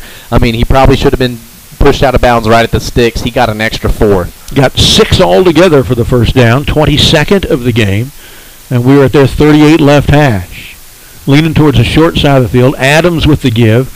Not a lot of blocking for Kevin. He gets what he can, which is a couple to the 36. Yeah, not much going right there for Kevin, and we're just going to need to rely on him to go ahead and put this game away with 11:40 and ticking in the ball game up on top, 38 to 14 here in the second round playoffs. I'm telling you, this five and five Cedar Park team, I. It, it- this is incredible, Brad. I want a bunch of three and four yard carries that don't go out of bounds all the way to the end zone here to burn away a lot of this time. Second down. 36 yard line. Play action fake. Back to throw his Pell. He's going deep down the right side. Oh! Had a man there. Oh, he almost one-handed intercepted Wow. that. Wow. Threw it a little short and almost got a pick inside the five. And I mean, Houston Molinaro had his man beat by two to three steps. I thought Josh Pell put that on the money. I did too it left his hand. That was great closing speed by that cornerback and almost made a Sports Center top 10 interception right there. uh, but by the grace of the football gods, we got a third down. So third down and only about seven, maybe seven and a half.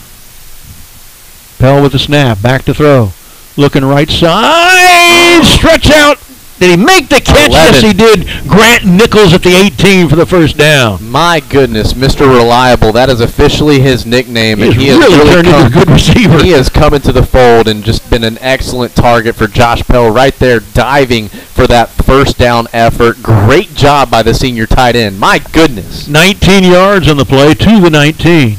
Trips to the short side. That's the right side. One man, Adams, sprints out, Timeout. alone to the left. That may have confused him. Nobody was going out there with him.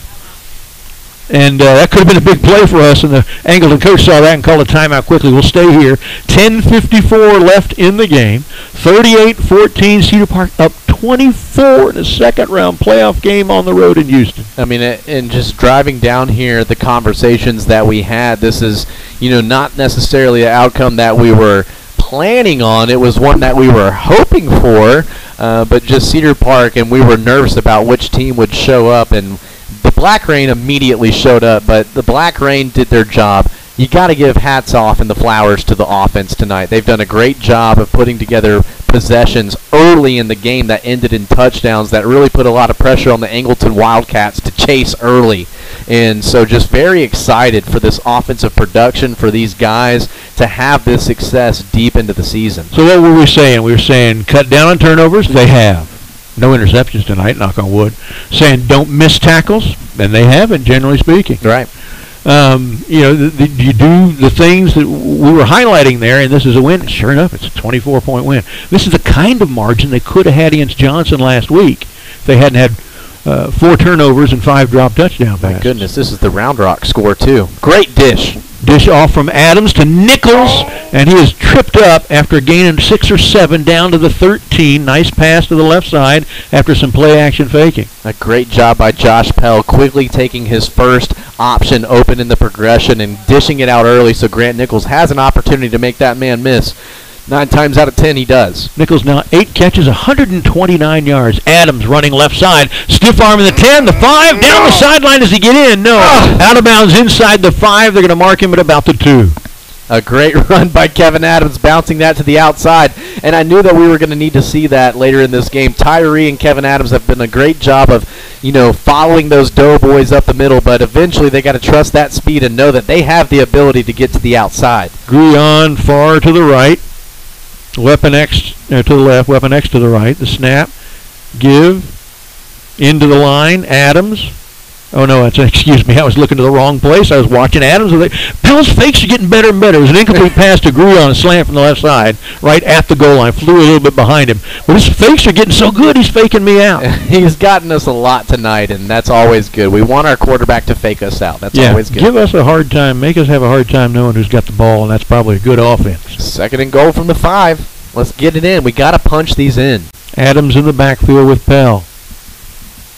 Snap. Gives to him, runs right up the middle and into the end zone for the touchdown from five yards out. Kevin Adams, first touchdown of the night. Oh, so happy for Kevin Adams getting into the end zone completely untouched. And again, shout out to those Doughboys. They've done a great job. 44 points on the board right now. Shout out to those Trench Dogs getting it done up front, giving us the ability to push these possessions down the field, not only for field goals, but for touchdowns. Big shout out to the Doughboys. And 25 first downs so far tonight, 32 last week. That's 57 first downs in less than two games. I thought they were going to block that point, but he got he got it through. 10-16 left in the game. Cedar Park's lead now 45 to 14. We'll be right back.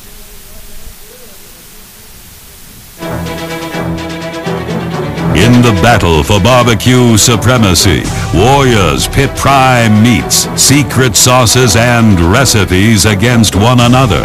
Yet one champion stands alone. Rudy's Country Store and Barbecue in the modern day vernacular, where bad means good. Rudy's Country Store and Barbecue has the worst barbecue in Texas. You know the Alzer family. They've been involved in Cedar Park sports for years, just as Alzer's Barbecue has been involved in Cedar Park cuisine for years. It's one of a kind, authentic Texas barbecue. Brisket, turkey, chicken, lamb, terrific sides and sauces. It's sheer succulence. That's Alzer's Barbecue, next to the Shell Station on 1431, just east of Lakeline. Open Friday through Sunday, every weekend. Total offense right now, as we just started the fourth quarter, 471 to 231. Woo! Pushing 500 yards offense, and a third of their offense is on one play. That's insane. 45-14 Timberwolves. It's like the good old days. Are they back already?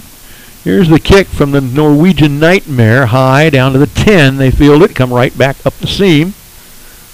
A little bit of a room there. They're going to get out over the 30 to about the 34. 24-yard return. First and 10 for Angleton. From there, 34. And have to give a quick shout out to Cecil Kokenauer listening back home. He just messaged me and said, "Man, this is a beatdown, peaking at the right time." Yeah, that's exactly right. We this Cedar Park team is starting to come into their own for sure. First and 10 Angleton there, 34.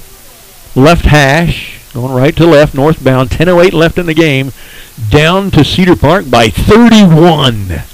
Three to the right, two to the left. Back to throw. Ewells under some pressure. He's going to run up the middle, gain some yardage before he's hit and taken down by Vines. It's about a four-yard gain to the 38 second down. Again, and it's just these quarterbacks dropping back and trying to find these receivers with, I mean, you've just never truly faced this black rain pass rush. And if we're able to get home with three defensive down linemen, if we have these outside linebackers just waiting at the line of scrimmage, you're not going to be able to bail.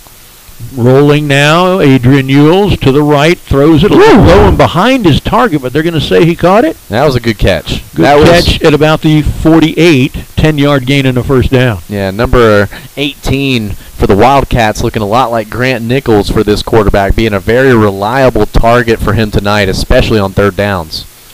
10 yards, a pass is thrown behind and below him, and he made the catch anyway. Nice job. 10th first down of the game. This time into the line with the running back. Not much doing there. Going to give him two to the 48. Second down. Deshaun Thomas. Yeah, not much going right there. Good job by the Black Rain, especially Ian Ferguson, number 90. He was on that play side of the play and did a great job of taking that tackle outside and fighting for outside contain and running into that ball carrier. Great job. D-line doing a good job tonight. They go into it and don't come out. Play action fake, back to throw his Ewells. Under pressure, goes right. He's going to end up running it. Getting a few yards. Coming back to the middle, he's got some room. The 30, the 25, the 21 yard line before he is stopped. A big gainer. It's going to end up being 10, 20, 32 yards. Yeah, shout out to George Wheeler and Garrett Gasly staying at home on the backside. I mean, they could have quit on that play when it looked like the quarterback was dead in the rights right at the line of scrimmage, but they stayed at home, stayed focused, and were able to wrap up that quarterback in the open field, not giving up a touchdown. He only had 37 yards rushing rushing on the game. He got 32 right there. This time in the line with a run, maybe a yard to the 20. Oh my god! Bent backwards and his helmet ripped off. Yeah, number six com- hat coming off and Mick, Big Murr right there. That was a unreal hit at the end of that play. I'm going to give him a yard on that one. Only one yard. I don't have a six on my roster. Okay, interesting. Second down and nine from the 20. Left hash. Low snap. Gets it. Oh! Running right. Grabbed as he throws it incomplete. Who was the pressure by there, Josh? That pressure looked like it was from number 20, Jackson Fortney, the All junior right. linebacker. And love calling these underclassmen here in the playoffs. We're going to need these guys coming back next season. And Jackson has really come into his fold. He's so fast. He is. I mean, and he's not necessarily one of the biggest and strongest linebackers looking like from up here, but he's got that low leverage. He can get out into the flats and cover as well as pressure the quarterback. Three receivers right. Two left for Ewells. Takes a snap, fades back. Throws right side. Has a man at the goal line. Hits him for the touchdown. 20 yards on the play to number 25. And they're playing the sign for them. Malik Woods. And they draw a little closer. Draw a little closer. That one hurts right there to give up right there. But again, shout out to the Cedar Park offense and giving us this lead to, to work with here in the fourth quarter. We're still up uh, 24 points. Just how blessed are we with this team right now? Doesn't hurt so bad when you've built that kind of a cushion. Kick up. And it's good. Eight minutes exactly left to play. A junior high quarter. 45-21 Cedar Park. We'll be right back. A premier real estate brokerage in Central Texas, Mungia Real Estate's innovative buy sell process results in their listings selling faster than the Austin average. Their attention to clients sets Mungia apart from other brokerages with creative marketing strategies, savvy negotiation skills, and a commitment to hard work and excellent customer service. Whether it's residential, single family, multifamily, condos, commercial, or vacant land, Mungia Real Estate knows the Austin market and connects buyers with sellers every day. And they do it with professionalism. Mungia Real Estate at 512 922 4267 or mungiarealestate.com. That's M U N G I A.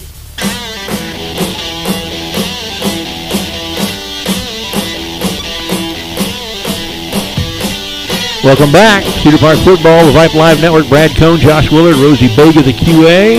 Eight minutes exactly left in the game. Cedar Park's lead narrowed a little bit, 45-21. They'll be returning the kickoff left to right. Their kicker will be kicking into the wind here, what slight wind there is. Onside. Oh! Onside try. Do they come It's up with theirs! it? And it looks like they've got Oh, they gave it to Cedar Park us. got it. Good. Wow. I saw one of our guys on it, but didn't know if he kept it. I think that may have been number 25. Uh, maybe it's 26, Mac Powell. Max Powell. I mean, uh, that was a great timed onside kick right there, and they've been kind of luring Cedar Park into it with their different kicking formations tonight and motion Yeah. before the the kick. So a good heads up play almost got Cedar Park slipping.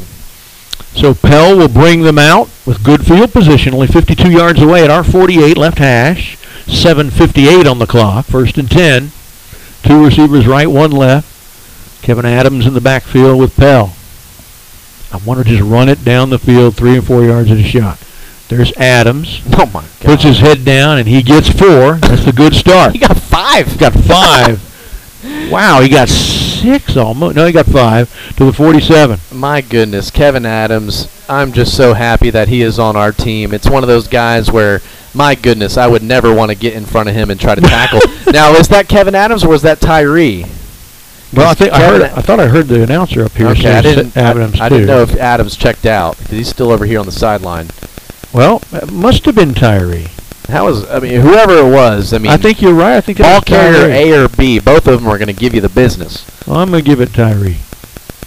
And they're going back to him again. This time he runs right side, Ah. turns around, spins. He'll only get a yard or so, just shy of the 45. Third down. Yeah, not much going right there. Tried to reverse it backfield. A, a wise cut by Tyree, but just got wrapped up and spun down right at the line of scrimmage for a gain of one. A big third down play right here. And again, it's not necessarily trying to, you know, pad the sto- Yeah, scoreboard. We the can- clock. We can dr- drown this clock clock out for real. Inside seven minutes now. It's 6:48 and ticking. Third and three. Pell play action fake throws left side has a man complete Nichols, but he's not going to gain anything out of it, and they stop the clock. So not anything that we wanted. Uh, keeping that clock moving here. Are they really? And Okay. I, am Uh, thank you. I'm, I'm advising that they continue to do so. Fourth down. Need to run this clock all the way down to two before they snap for this punt. 478 yards of offense now for Cedar Park. That's unbelievable. Pretty and nice just, night.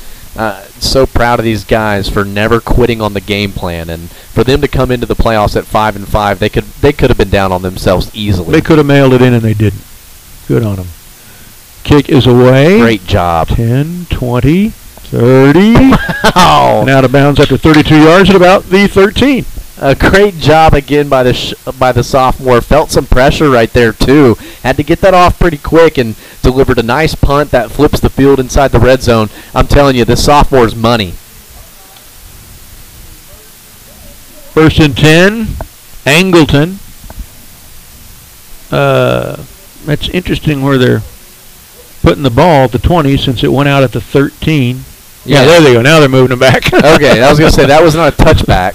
yeah. If it goes out of the 13, you get the ball at the 20. New football rule. My goodness. 45 to 21 for the Cedar Park Timberwolf team right now here in the second round. and they announced a penalty on the receiving team. And now they're marking that off. I didn't hear what the penalty was, but it's half the distance to mean, the goal. it's a big one. puts them at the six, maybe the seven. Six have been an unsportsmanlike or something Yeah. talking to the ref, but Yeah, there wasn't any extracurriculars going on on that play, so I, it must have been away from the football. First penalty of the second half for them. 5.53 left. Ewells back to throw at the goal line. right. They almost had him as a safety. He's running right. Plenty of room. At the 10, he spins out of somebody's grasp, but somebody else gets him at about the 12. And you're right, that should have been a safety. They held while he was in the end zone. That was Christian Cockrell out there at that outside linebacker that made the open field tackle. That quarterback could have sprung Critical. for a big first down, Yeah. but I'm with you, Brad. It looked like Brendan Payne and, he, and Big Murr got held right at the goal line inside the, the, the end zone. If you're holding when the quarterback is in the end zone, that's safety. Snap deals. Gives to the running back, runs right side. This is six again, who's not on my roster. Big Murr and friends. Stop him after a gain of about a yard. Shout out number 47 as well from the Timberwolves getting his hat in on the play. Don't have a number on him. Uh, excuse Hmm. me, 47. I think that's 42 from this line of vision. That's That'd be Reed Vines. That'd be a Reed Vines. That two looked like a seven, but Reed Vines and Murray Robinson there collectively for the stop right at the line, forcing him into a big third and three. We could stop at Buc-ee's on the way home. Come on, man. We can do that for sure. I get some nuggets. 447. There's a snap on third and two. Right outside. They have the first down and more. The 30-yard line, cutting inside to the 34. A nice gain of 20 yards for Ewell. A great job, and George Wheeler doesn't get credit with that tackle, but he fought for outside contain, forcing that quarterback to cut back in to the middle of the field, not giving him the sideline to run down. So George Wheeler didn't get credit for that tackle, but we got to give him praise on that play. Defense did a great job of stuffing them. Very little yardage in the first half. They've given up yardage, but not a lot of points here in the second. Uh, with six more yards would give them two 100-yard rushers. That doesn't happen very often against Cedar Park. Back he goes to throw. Flushed from the pocket. Throws right side, has a man wide open, and drops the ball at our 45-yard line on the right sideline. Thank you very much. Yeah, he's made uh, that receiver's made a ton of catches in traffic behind his uh, you know frame and readjusted, making big catches. That one was completely wide open, and those are sometimes the toughest ones to bring down. Uh, so an incomplete pass, unfortunately, brings them to a second and ten. 4:10 to go, Brad. We're almost on the victory ride home. Almost warm up the bus. 34-yard line, right hash. This is so exciting. Two men split left, one right. Play action fake, looking left, looking left, good.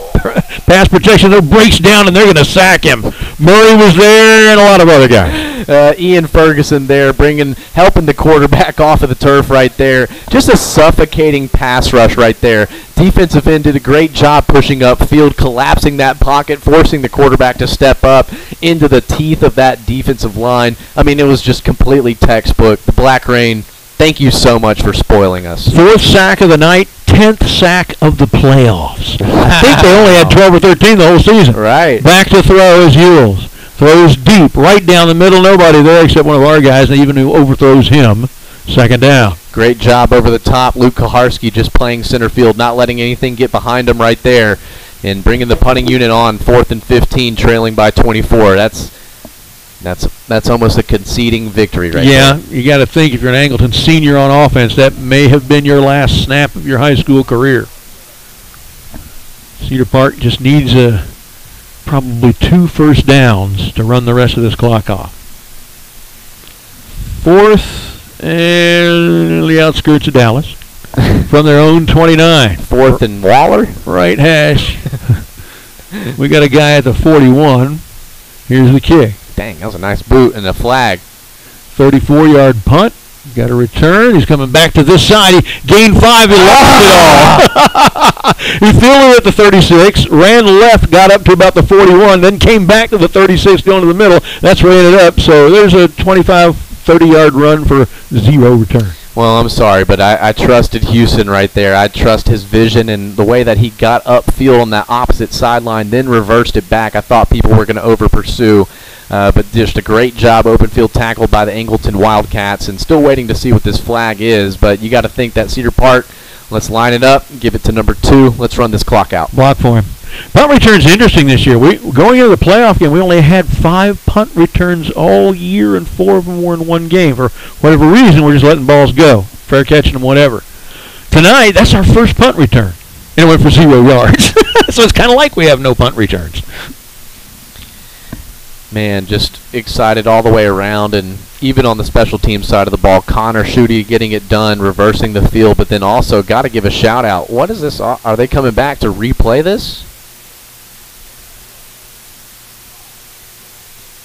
Yep. Looks like we lined up off sides, I think he said. Yep, five yard penalty in there. It was fourth and 15, so still fourth and 10. They'll still kick and gain five yards in exchange. Although, look at where the ball was. It was, what, the 30, 35 yard line. All right, if we get better than the 35 yard line out of this, I think we could, they shouldn't have taken the penalty. Yeah, it, it, and again, it kind of goes back to your rant the other week about taking timeouts on delay of games. Yeah, I mean, little not penalties. understanding the value of things. Yeah, Yeah, it's not. There, there's no value of that five yards, especially if the value Cedar is Park, that if they Cedar Park made our guy go backwards on a punt return. And that's Oh, another. they did it again. He's going to give him another five. Oh my gosh. Well, now we're probably not going to end up at a 35. Okay. Ah. Oh, they take those yards right back from them. a little yin and yang. So we're still looking at the 30. If we're better than 35, they should have never taken the first penalty. It's still the same deal. And now a good chance we're better than 35 because Molinaro is standing on the 40. Oh my goodness. Meanwhile, no seconds have tipped off. That's what we're wanting. We're ready to head to Buc-ee's. Yeah, again, shout out to Rosie Vega for hanging out with us. Here's the kick. 10, 20, 30. 31 yard punt, fair caught at the 39, so we gained four yards out of them taking that penalty. Oh, thank goodness we have you to, to let us know about that. and we now officially do not have one punt return for zero yards. We still have no punt returns. There we go. I mean, but now Timberwolves taking over first and 10 from our own 39-yard line. 3:08 to go here in the ball game on top, 35 or 45, excuse me, to 21. I mean, I, I I'm almost speechless for this offensive production tonight. This has been tremendous. Uh, this is- pushing 500 yards. This is what we've wanted all season. We've had a few games where we've had that, but there's always been stuff misfiring. When the offense is on, the defense is off. Right. When the defense is on, the offense is off. Into the line now with a running back, and that looks like Ty or Gavin Mundell. He's going to get about three, maybe four, to the 43. Again, we're just trying to drown out that clock. Good job by Gavin, ball security, getting up north and south and plowing forward for as many yards as he can, and they do give him four. Inside three minutes now, at 2:42 and ticking. Run this clock. We got 2019 on the shot clock. Run it down to two before you snap it. Absolutely. I know it's, it's, it's against an offense that runs tempo a lot. It's against their instincts. You got to do it. How many times have we been in this position all year? We need to run the clock out. Enjoy seven, this. Six. They snap it with about six. This time they give to the running back going left side. I think that's Mundell again. But unfortunately, he kept going to out of bounds to gain yards. It was more important to go down and gain clock. This young guy still not understanding some of the dynamics of the game. No gain on the play, and it stopped the clock. Yeah, stops that clock at 2:18 and just putting off the in- inevitable Buc-ee's run. Actually, he loses a yard. Third and eight. He loses two yards. Getting some feedback. 2:18. It might be your phone there. Sounds like phone noise. From the forty-one.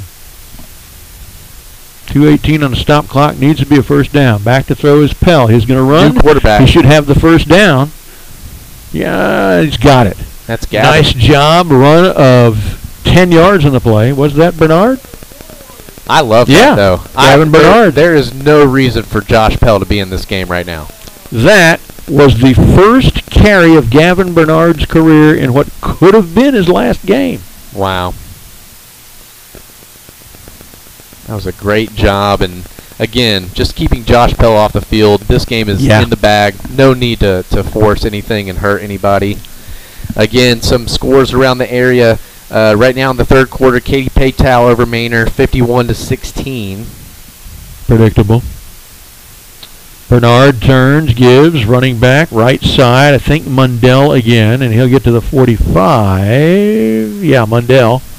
So gain of about four on the play clock, ticking through 129. Manvel going to take out our district champion Weiss right now 41-31 with 48 Ah. seconds to go in the game. I thought Weiss had a good shot at that. I really thought that they had the offense to compete with them and We know we should have been Weiss, so we're right there with Manvel. Right now, Barbers Hill on top of frickin' A&M Consolidated. Yeah! 28-27 in the start of the fourth.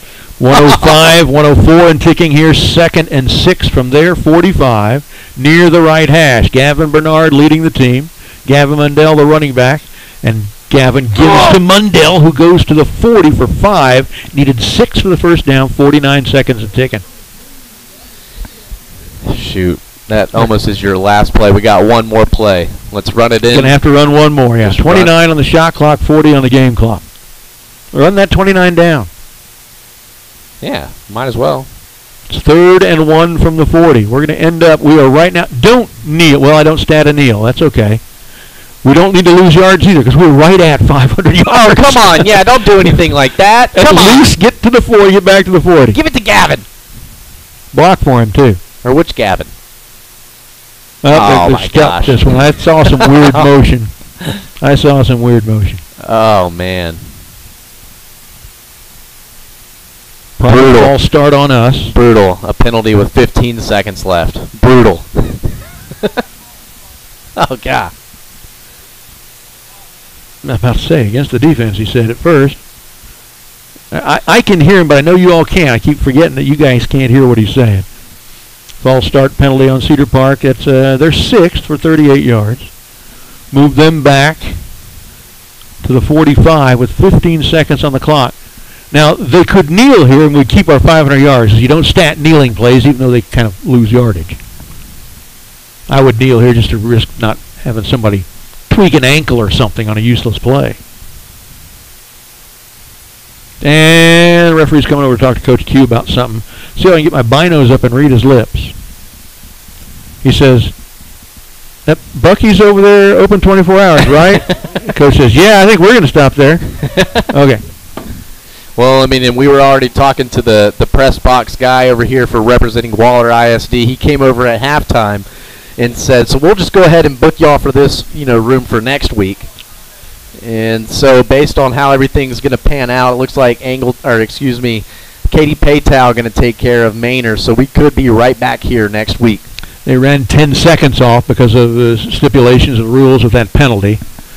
So there goes. We don't even run another play. The referee started the clock. It goes to zero quickly, and Cedar Park wins. A couple of brief commercials, Josh. We'll come back and wrap it up and get out of here.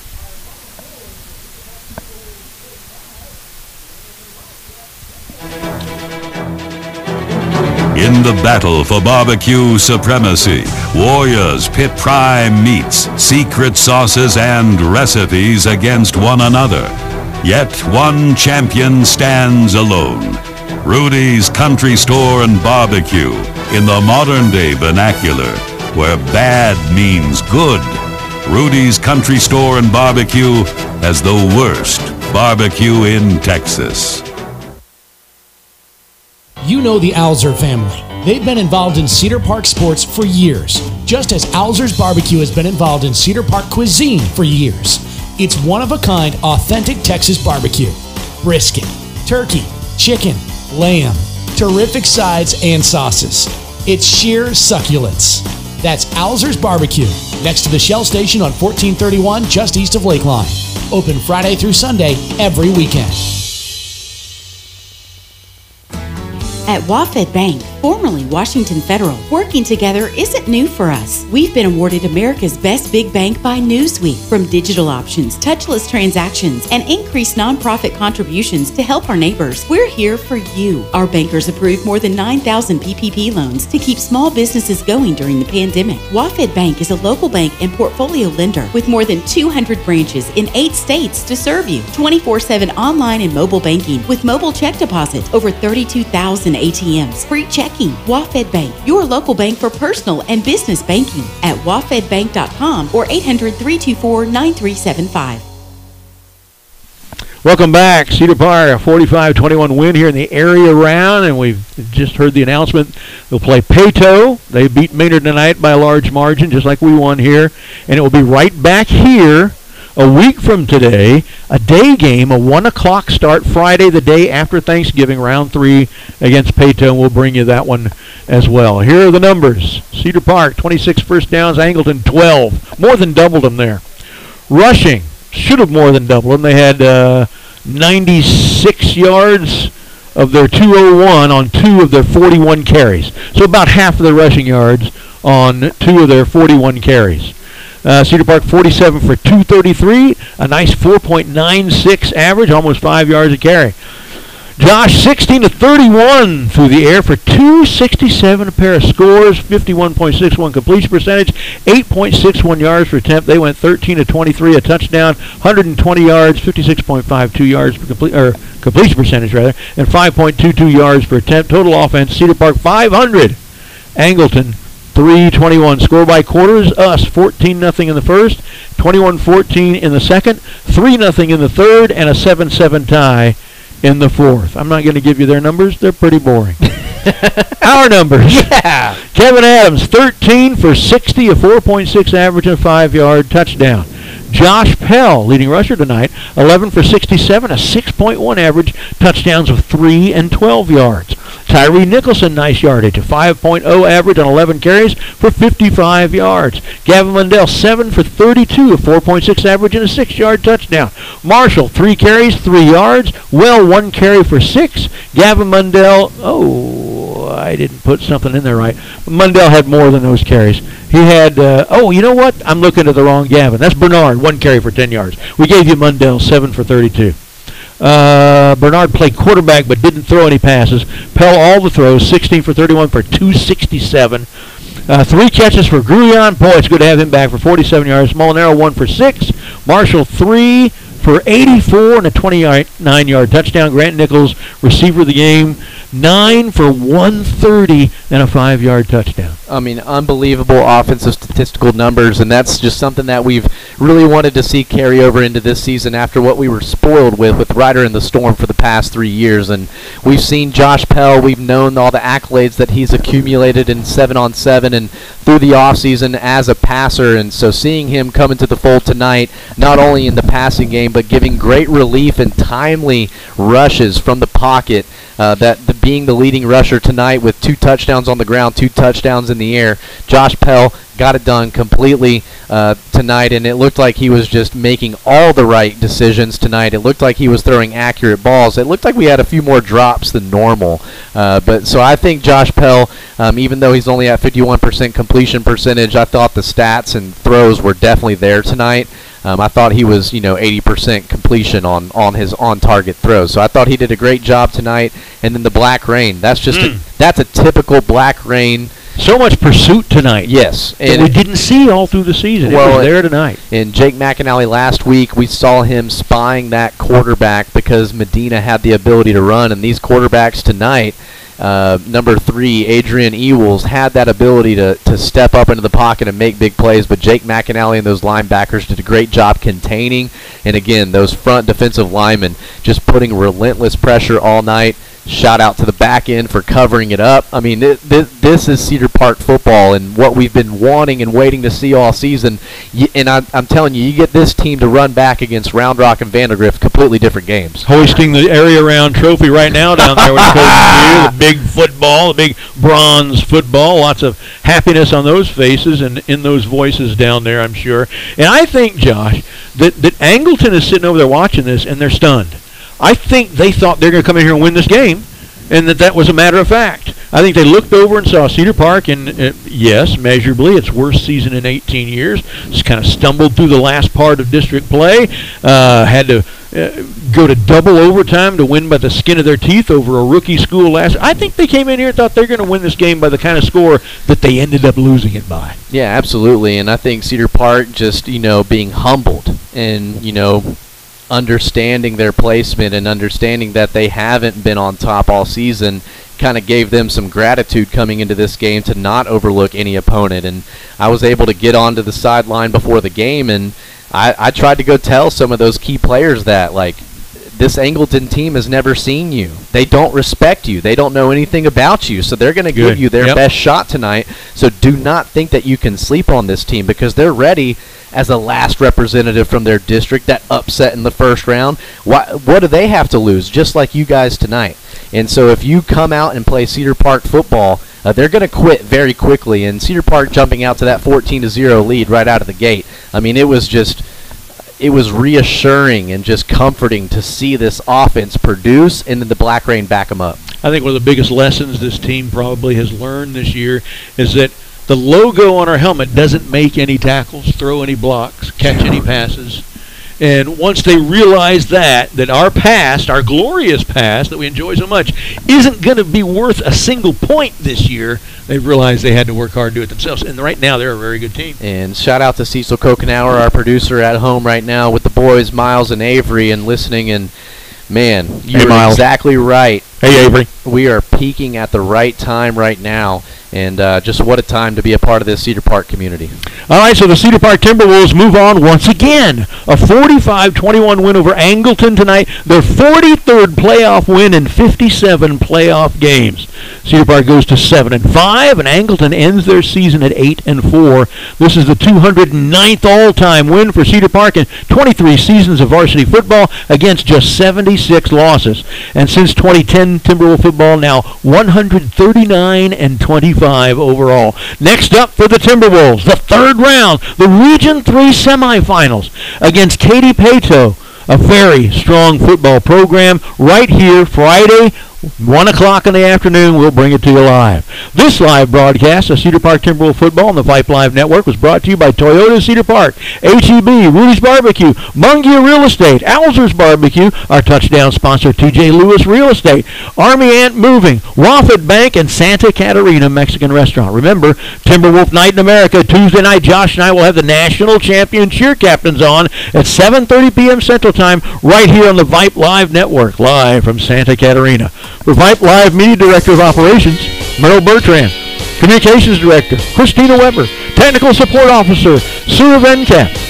Our voiceover artist, Roland Ruiz. All the good folks at the VYPE Network and Flow Sports TV. Our QA tonight, Rosie Vega, and my longtime broadcast partner, Cecil Kokenauer, couldn't join us, and Josh Willard, who did. This is Brad Cohn signing off for Flow Sports TV and the VYPE Live Network.